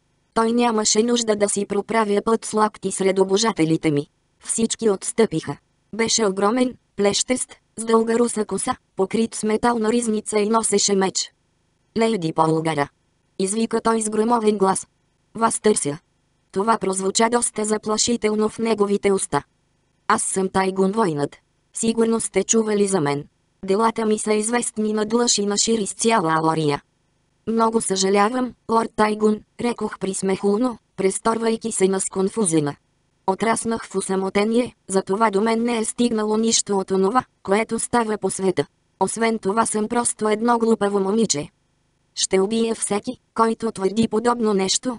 И той се огледа застрашително наоколо. Как, в името на боговете, щях да живея с тези варвари? И точно тук допуснах грешка, една от многото за този ден. О, изтърсих аз, точно защото съм живяла така уединено, сега с радост бих изслушала разказа за вашите подвизи. С голямо удоволствие, леди Полгара, отвърна той. Няма съмнение, че разказването достави удоволствие на самия него, но това изобщо не се отнасяше до мен. Трябваше ли чак толкова живописно и подробно да описва всичко? Докато редеше случка след случка, аз се почувствах потопена в море от кръв, а наоколо ми се търкаляха отсечени глави. Окървавени вътрешности се усукваха около краката ми и отделени от тялото крайници се трупаха на камари покрай мен, потрепвайки в предсмъртен спазъм. С голямо усилие на волята се удържах да не повърна върху предницата на металната моризница. Най-накрая моят прекрасен и очарователен Кеймиан ме отърва от този ужас. Простете, сър Тайгун, но сестрата на Лейди Полгара, нашата бъдеща кралица, я вика при себе си. Зная, че ние ще се почувстваме самотни и изоставени след нейното излизане, но трябва да се подчиним на височайшото желание. Вярвам, че воин с вашия богат опит може да разбере колко е важно да се спазват кралските заповеди. Разбира се, Кеймиан, механично отвърна Тайгун и ми се поклони тромаво. Побързайте, леди Полгара, не бива да карате кралицата да чака. Аз също се поклоних, но не се реших да отговоря нещо. Кеймиан ме подхвана за лакътя и ме поведе към вратата. Когато се върнете, провикна се след мен Тайгун, ще ви разкажа как изкормих един нахален арент. Нямам търпение да го чуя, пророних немощно през рамо. Наистина ли искате да чуете тази история, миледи? Прошепна в ухото ми Кеймиан. Честно казано, скъпи Кеймиан, по-скоро бих изпила отрова. Той се разсмя. Така си и помислих. Забелязах, че към края лицето ви взе да позеленява. Наистина можеше да се разчита на Кеймиан. Усетих, че му се възхищавам все повече и повече. Е, попита сестра ми, когато отидох при нея, как беше? Прекрасно, отговорих тържествуващо. Всички загубиха ума и дума по мен. През цялото време бях център на внимание. Долавям някаква жестокост в теб, Полгара. Това пък какво трябва да означава? Цял следобед бях затворена тук като в кафес, а на всичкото отгоре ти сега ми навираш в носа новите си завоевания. Мигър така правя. Попитах дяволито. Разбира се. Просто те виждам как тичаш през глава насам, за да ми се надсмееш. После се разсмя. Извинявай, Пол, не можах да се въздържа. Ти си над тези неща, Белдаран, отвърнах аз. Вече хвана мъжа, когато искаше. Аз още трябва да хвърлям въдицата. Не съм сигурна дали точно аз го хванах. Твърде много хора бяха ангажирани в лова, Алдор, татко, а най-вероятно и майка ни. Мисълта за уреден брак е доста унизителна. Но ти наистина обичаш Рива, нали? Разбира се. И въпреки това е унизително. Но стига, разкажи ми точно какво се случи. Искам и най-дребните подробности. Описах целия си следобед и двете с сестра ми много се смяхме. Доколкото успях да доловя, Белгаран най-много се забавляваше от реакцията на риванските девойки. Този следобед беше моето първо и последно пътуване без надзирател из дебрите на сложните ритуали за чифтосване. Всеки път от тук нататък баща ми седеше намръщено на най-видно място в залата. Това, естествено, не беше необходимо, но той не можеше да знае, че мама не откъсва поглед от мен. Присъствието му обаче успя да охлади ентусиазма на моите ухажори. Нито един от тях не се реши да стигне твърде далеч под мрачния му поглед. Въпреки това аз бях убедена, че и сама мога да се погрижа за себе си. Присъствието на баща ми само ме лишаваше от възможността да изпробвам на практика наистина ли е така. По някаква необяснима причина Кеймиан особено изнервяше татко. Младежът имаше изискани обноски и никога не си позволи да извърши или каже нещо дръско или пък обидно. Защо ли тогава старият вълк така го възненавидя? А после за сватбата пристигнаха крал Черек и неговите синове, Дразбич и Аврат и Алгар леката стъпка, и нещата взеха да добиват по-сериозен обрат. Независимо, че Рива и Белдаран се влюбиха от пръв поглед, сестра ми имаше право. Този брак беше нагласен предварително. Подозрението, че на баща ми може да хрумне и мен да уреди по същия начин, само за да ме запази от всички ухажори, взе да надига грозната си глава. Мисълта, че баща ми може да реши и мен да окове в брачни вериги към Драс или Алгар, доста ме безпокоеше. Пета глава. По някаква причина майка ми започваше да говори мъгляво и не казваше нищо определено, колчем станеше дума за вече толкова известното пътуване на татко до Малория. Аз пък имах нужда от повече информация, за да се противопоставя на всички нелепи мисли, които се въртяха в неговата глава. Затова започнах да търся Чичо Белдин. Намерих го на върха на една от кулите на цитаделата. Той се беше отделил с чаша бира в ръка и гледаше сърдитите черни вълни, бушуващи под свода на заплашително надвисналото небе. Поставих въпроса, който ме вълнуваше, без много-много да го въртам. Какво знаеш за пътуването на баща ми в Малория? Не много, отвърна той. Не бях в долината, когато черек и момчетата са дошли да го вземат. Обаче знаеш какво се е случило там, нали? Близнаците ми казаха, присви равнодушно рамене той. Доколкото схванах, черек и момчетата са били път през снега в най-лютата зима заради някакво полуумно предсказание, което свещениците на Белар получили от авгорите, както ги наричат алорните. Понякога черек е ужасно лековерен. Какви са тези авгори? Предполагам са хора, които предсказват бъдещето. Свещениците на Белар се напиват до безпаметство, после изкормят някой овен и започват да се ровят из вътрешностите му. Алорните имат чудатото убеждение, че изкорменият овен може да им каже какво ще се случи през следващата седмица. Аз обаче подозирам, че елът има най-голяма роля в тези предсказания. Но така или иначе, алорните много им вярват. Съмнявам се, че и овните са на същото мнение. Възможно ли е някой да е толкова наивен, че да хване вяра на подобен абсурд? Твоят бъдещ зет, например. О, богове! Бедната Белдаран! Защо изведнъж от теб се породи този задълбочен интерес към странните алорнски обичай, Пол? Попита той. Хрумна ми, че баща ми може да реши да се отърве от мен и да ме омъжи за драс или алгар, а аз още не съм готова за брачния хомот. Ще ми се да разполагам с някои аргументи, за да имаме равни шансове в спора. Белдин се разсмя. Не се тревожи, Пол, каза ми. Понякога Белгарад действа доста странно, но едва ли би стигнал чак до там. Освен това учителя няма да му позволи подобно нещо. Обзалагам се, че има съвсем други планове за теб. Както се оказа по-късно, това е било доста сдържано изказване относно моето бъдеще. Макар аз вече да бях убедена, че в бъдещето ми не се очертава никакъв алорн за съпруг, тази новина още не беше стигнала до Драси Алгар. Ето защо двамата алорнски крале се присъединиха към тълпата мои обожатели. Драз беше по-агресивният от двамата, защото бе и по-големият. Стилът му на ухажване ми донесе голямо облегчение. За разлика от младите риванци с техните недодялано скълъпени домогвания, той беше прям и честен. Драз вече беше уверен в себе си мъж, затова не му се налагаше да си измисля някакъв ореол. Е, обърна се той към мен няколко дни след като беше пристигнал с баща си и брат си. Какво мислиш, да кажа ли на баща ми да говори с твоя? За какво да говорят, Ваше Величество? За нашата сватба, разбира се. Можем да се оженим в деня на сватбата на Рива с сестра ти. Директният му подход не ми остави много възможности за маневриране и увъртане. Не е ли малко прибързано решението ти, Драс? Защо трябва да губим време, Полгара? Този брак ще е от полза и за двама ни. Ти ще станеш кралица, аз ще се здобия с жена. При това можем да пропуснем всички тези дворцови преструвки. Разговорът не тръгваше в добра посока.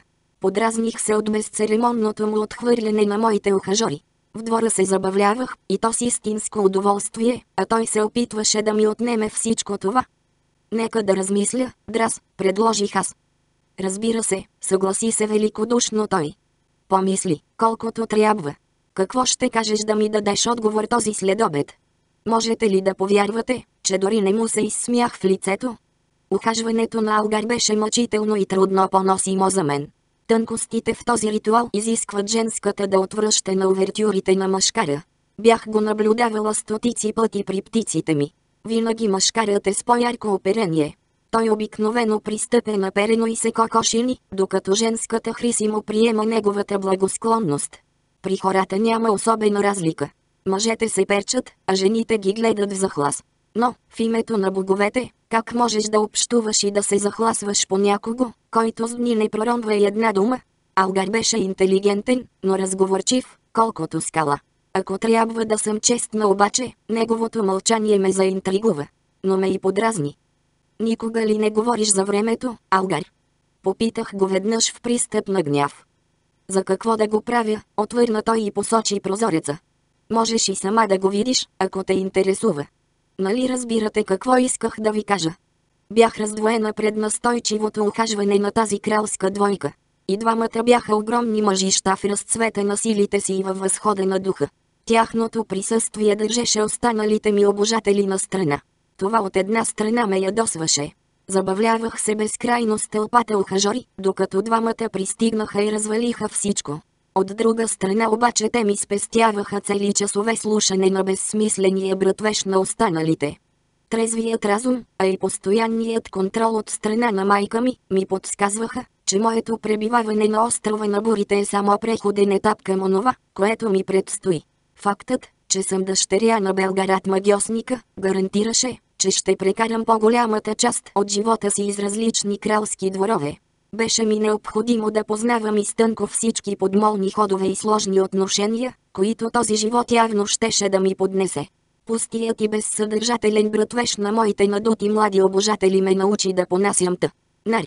Малък разговор. Ничи разговор не може да бъде по-малък и по-незначителен от този на възмъжа юноша, който си търси женска. Драси Алгар, чието умове бяха заети с държавни дела, ме научиха да различавам важното и същественото, докато всички онези пеперуди се възхищаваха единствено на собствената си прелест. Чичо Белдин показа на баща ми това, което беше очевидно за всички. После татко поговори с крал Черек мечото рамо и му обясни, че аз не се стремя към кралската корона нито на Драсния, нито на Алгария. Това отне част от радостите на моята малка игра, но ми остана успокоението, че всички останали наперени млади пауни все още се въртяха около мен. Една сутрин обаче, докато вървях по дългия коридор към залата, където обикновено се събираха дворцовите велможи, майка ми заговори особено твърдо с мен. Не ти ли омръзна вече всичко това, Пол? Просто си убивам времето, мамо, отвърнах. Не се опитвай да се измъкнеш с тези недодялани извинения, Пол. Преодоля лошия си навик да не се миеш и да ходиш мръсна. Сега е време да се освободиш и от тези увлечения. само ми разваляш удоволствието. Ще бъде, както казвам, по-лгара. Е, добре де, въздъхнах. Наистина не можеше да се каже, че напоследък съм пример за подражание. Реших обаче на сбогуване да си устроя един последен триумф.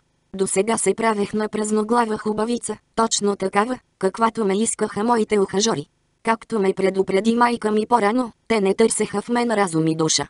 След като така или иначе щях да напусна играта, поне нека им покажа каква в действителност съм. Започнах да се разхождам напред-назад по коридора, обмисляйки различни възможности. Най-лесното, разбира се, щеше да бъде да им демонстрирам дарбата си. Известно време се забавлявах с представата как левитирам пред тях. Бях сигурна, че дори в Уклиото Тайгун ще схване за какво става дума, когато се появя, плувайки във въздуха на няколко стъпки от пода, развяла знамената на славата след себе си. Но почти веднага се отказах от този план. Беше много детинска постъпка, аз исках те да схванат, че наистина съм над тях. После в главата ми проблясна нещо друго. В долината често се присъединявах към птичия хор и моите приятели ме научиха на някои хитрости. Влязох в залата, преструвайки се на замислена и унесена в мечти, отправих се към най-отдалечения край и поговорих с музикантите. Единият от тях, на средна възраст, който оглавяваше малката група, беше във възторг от моята идея. Сигурно му беше омръзнало да го подценяват в това общество на пълни. Той пристъпи пред подиума, на който музикантите свиреха, незабелязвани от никого, и обяви тържествено. Дами и господа, Лейди Полгара любезно се съгласи да попее пред нас. Аплодисментите бяха задоволителни, но доста шумни и без следа от добро възпитание. Никога преди това не ме бяха чували да пея. Вкусът на моите ухажори обаче беше толкова групи неизтънчен, че биха ме аплодирали дори да грачех като врана. Музикантите подхванаха мелодия, която приличаше на арендска народна песен.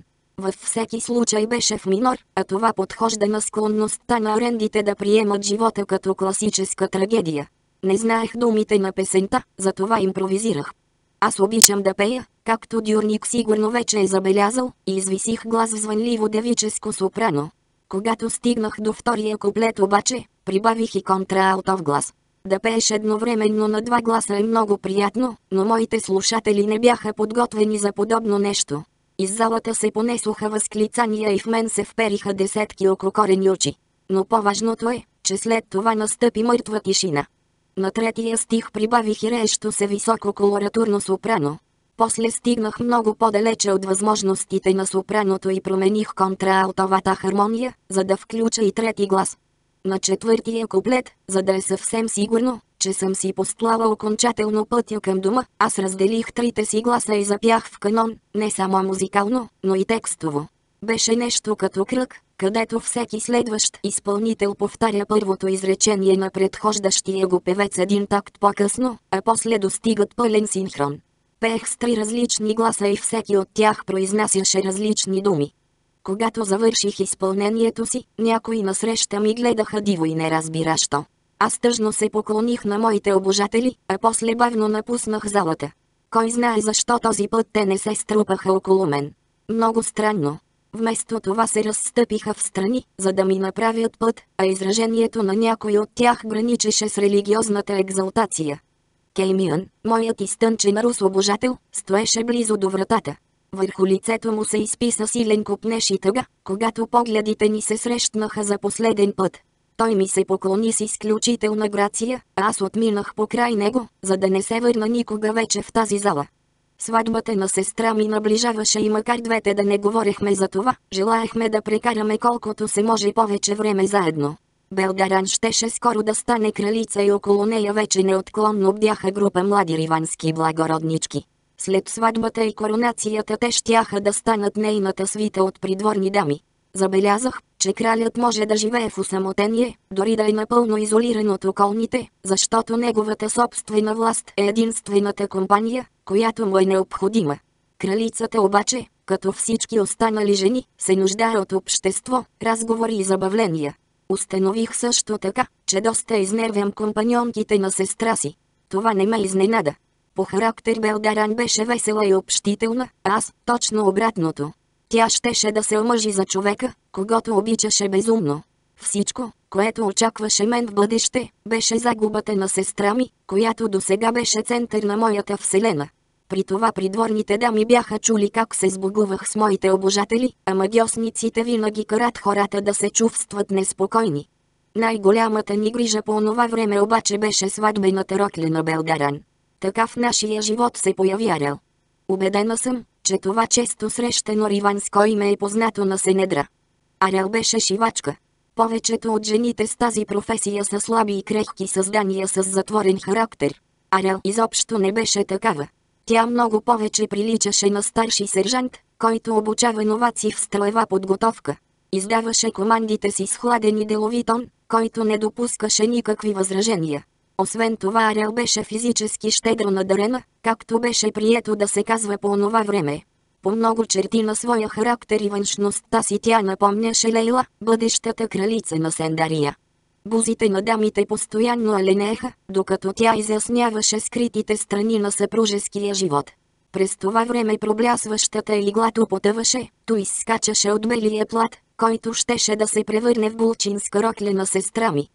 Мъжете много се вълнуват от тези неща, рече веднъж Арел, откъсвайки с зъби конец от подгъва на роклята. Независимо колко представителни и важни изглеждат пред останалите, в спалнята всички приличат на малки момченца. Бъдете нежни с тях и никога не им се присмивайте. Когато останете сами, можете да се смеете, колкото си щете. Двете с сестра ми не се нуждаехме от съветите на Арел. Майка ни се беше погрижила подробно да ни обясни цялата процедура. Но как би могла Арел да знае за това? Боли ли? Попита загрижено една блондинка от компаньонките на Белдаран. Все някоя задава този въпрос, когато темата се обсъжда между млади жени. Арел свира мене. Не много, ако си спокойна и отпусната. Не се сковава и всичко ще бъде наред. Предполагам, не е необходимо да навлизам в детайли по темата, нали? Най-накрая за голяма радост на Арел роклята на Белдаран беше завършена. Сега нашата покровителка можеше да се заеме с следващата дама. Като сестра на младоженката идваше моят ред. Събличай се, изкомандва Арел. Какво? Извиках аз. До тогава си мислех, че нищо не е в състояние да ме шокира. Явно съм се заблуждавала. Свали си дрехите, Полгара, твърдо повтори тя. Искам да видя с какво си имам работа. Пламнах цялата, но направих, каквото се искаше от мен. Тя изучи внимателно полуголото ми тяло с присвити устни и втренчен поглед. Не е зле, заключи най-накрая. Това трудно можеше да се нарече комплимент. Ти си щастливка, Полгара, продължи шивачката. Много момичета на твоята възраст са съвсем плоски. Мисля, че можем да се възползваме от твоята надареност и да наблегнем на нея, за да прикрием широкия ти ханш. Какво? Отново избухнах аз. Конструкцията ти е създадена да носиш деца в отробата си, Полгара. Това е много полезно, но прави дрехата да изглежда зле скроена. Истината ли казва? Обърнах се към Белдаран, използвайки тайния ни език, за да не ни разбере Арел. Ами малко си по-закръглен в ханша, Пол, отговори Белдаран. После се ухили насреща ми. Ако изрежем дълбоко гърба на роклята, може да се видят и задните ти полукълба. Ще ти го върна тъпкано, да знаеш, Белдаран. Заплаших аз. Едва ли ще го направиш, Пол, отговори тя, подражавайки на любимата закачка между Белдин и баща ни. Казваш го, само за да ме зарадваш. Роклята ми беше в синьо, а Арел остави ръцете и деколтето ми открити. Цялата дреха беше обшита с снежно-бяла дантела и наистина беше превъзходна. Едва не ми секна дъхът, когато за пръв път се видях с нея в огледалото. Не мога да нося такова нещо пред хората, възкликнах, та аз съм полугола. Не се дръж като глупачка, полугара, каза Арел. Добре скроената дреха трябва да подчертава най-хубавите черти на жената. Ти имаш добре оформен бюст и няма да ти позволя да го скриеш в плътнена турба. Наистина изглеждаш прекрасно, Пол, увери ме Белдаран. Никой няма и да помисли за ханша ти, ако носиш тази рокля. Взеха да ми омръзват разговорите за ханша и бедрата, Белдаран, отвърнах хапливо. Ти също не си никак слабичка. Секретът в носенето на една дръзко скроена рокля е да се гордееш с това, което тя открива, обърна се към мен Арел. Ти имаш хубава фигура. Гордай се с нея. Това е празник на Белдаран, Арел, възпротивих се аз. Тя, а не аз трябва да привлича вниманието на околните. Не се прави на света вода не напита, полгара, нахокаме шивачката. Чух за всичките ти преструвки и перчене долу в залата, затова не ми ги разправя и тия на мен. Поне не съм се разсъбличала. Можеше да си свалиш дрехите с чиста съвест. Кой е шил тези ужасни рокли, които носиш? Ами, трябваше ми рокля в камари татко поръча на един шивач да ми ушие. Като дойдохме тук, я дадох на една модистка, за да ми направи още няколко по нея. Така си и знаех, изсумтя Арел. Никога не позволява и на някой сендар да ти крои дрехите. Те са най-превзетите и лъжеморални хора на света. Натърти тя, а после продължи, оглеждайки се критично наоколо. Е, сега е ред на другите дами. Предполагам, всички ще бъдат в зелено. Нали не искаме роклите на придворните дами да са в дисхармония с тези на булката и нейната сестра? Понякога си мисля за Арел. Беше твърде властна, за да прилича на останалите алорнски жени. Ще поговоря с майка за това. Тя често се изкушава да си прави експерименти с хората.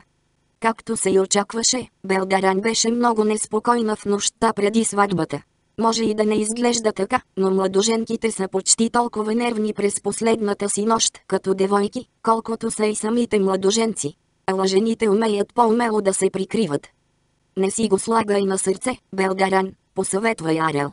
Сватбата е повод за гостите да се позабавляват. Младоженецът и младоженката са просто украса. Изобщо не се чувствам като украшение в момента, Арел, оплака се Белдаран. Ще ме извините ли, мисля да поизляза малко. Нощта мина като всички останали нощи, а денят след нея беше ясен и с чисто небе, голяма рядкост за острова на бурите. Той е хубав, но има непоносим климат. Брачната церемония беше предвидена за обед, защото алорнските мъже имат обичай да пируват цялата нощ преди сватбата. Ето защо на следващата сутрин се чувстват малко особено и им е нужно време, за да дойдат на себе си. Ние също имахме много работа.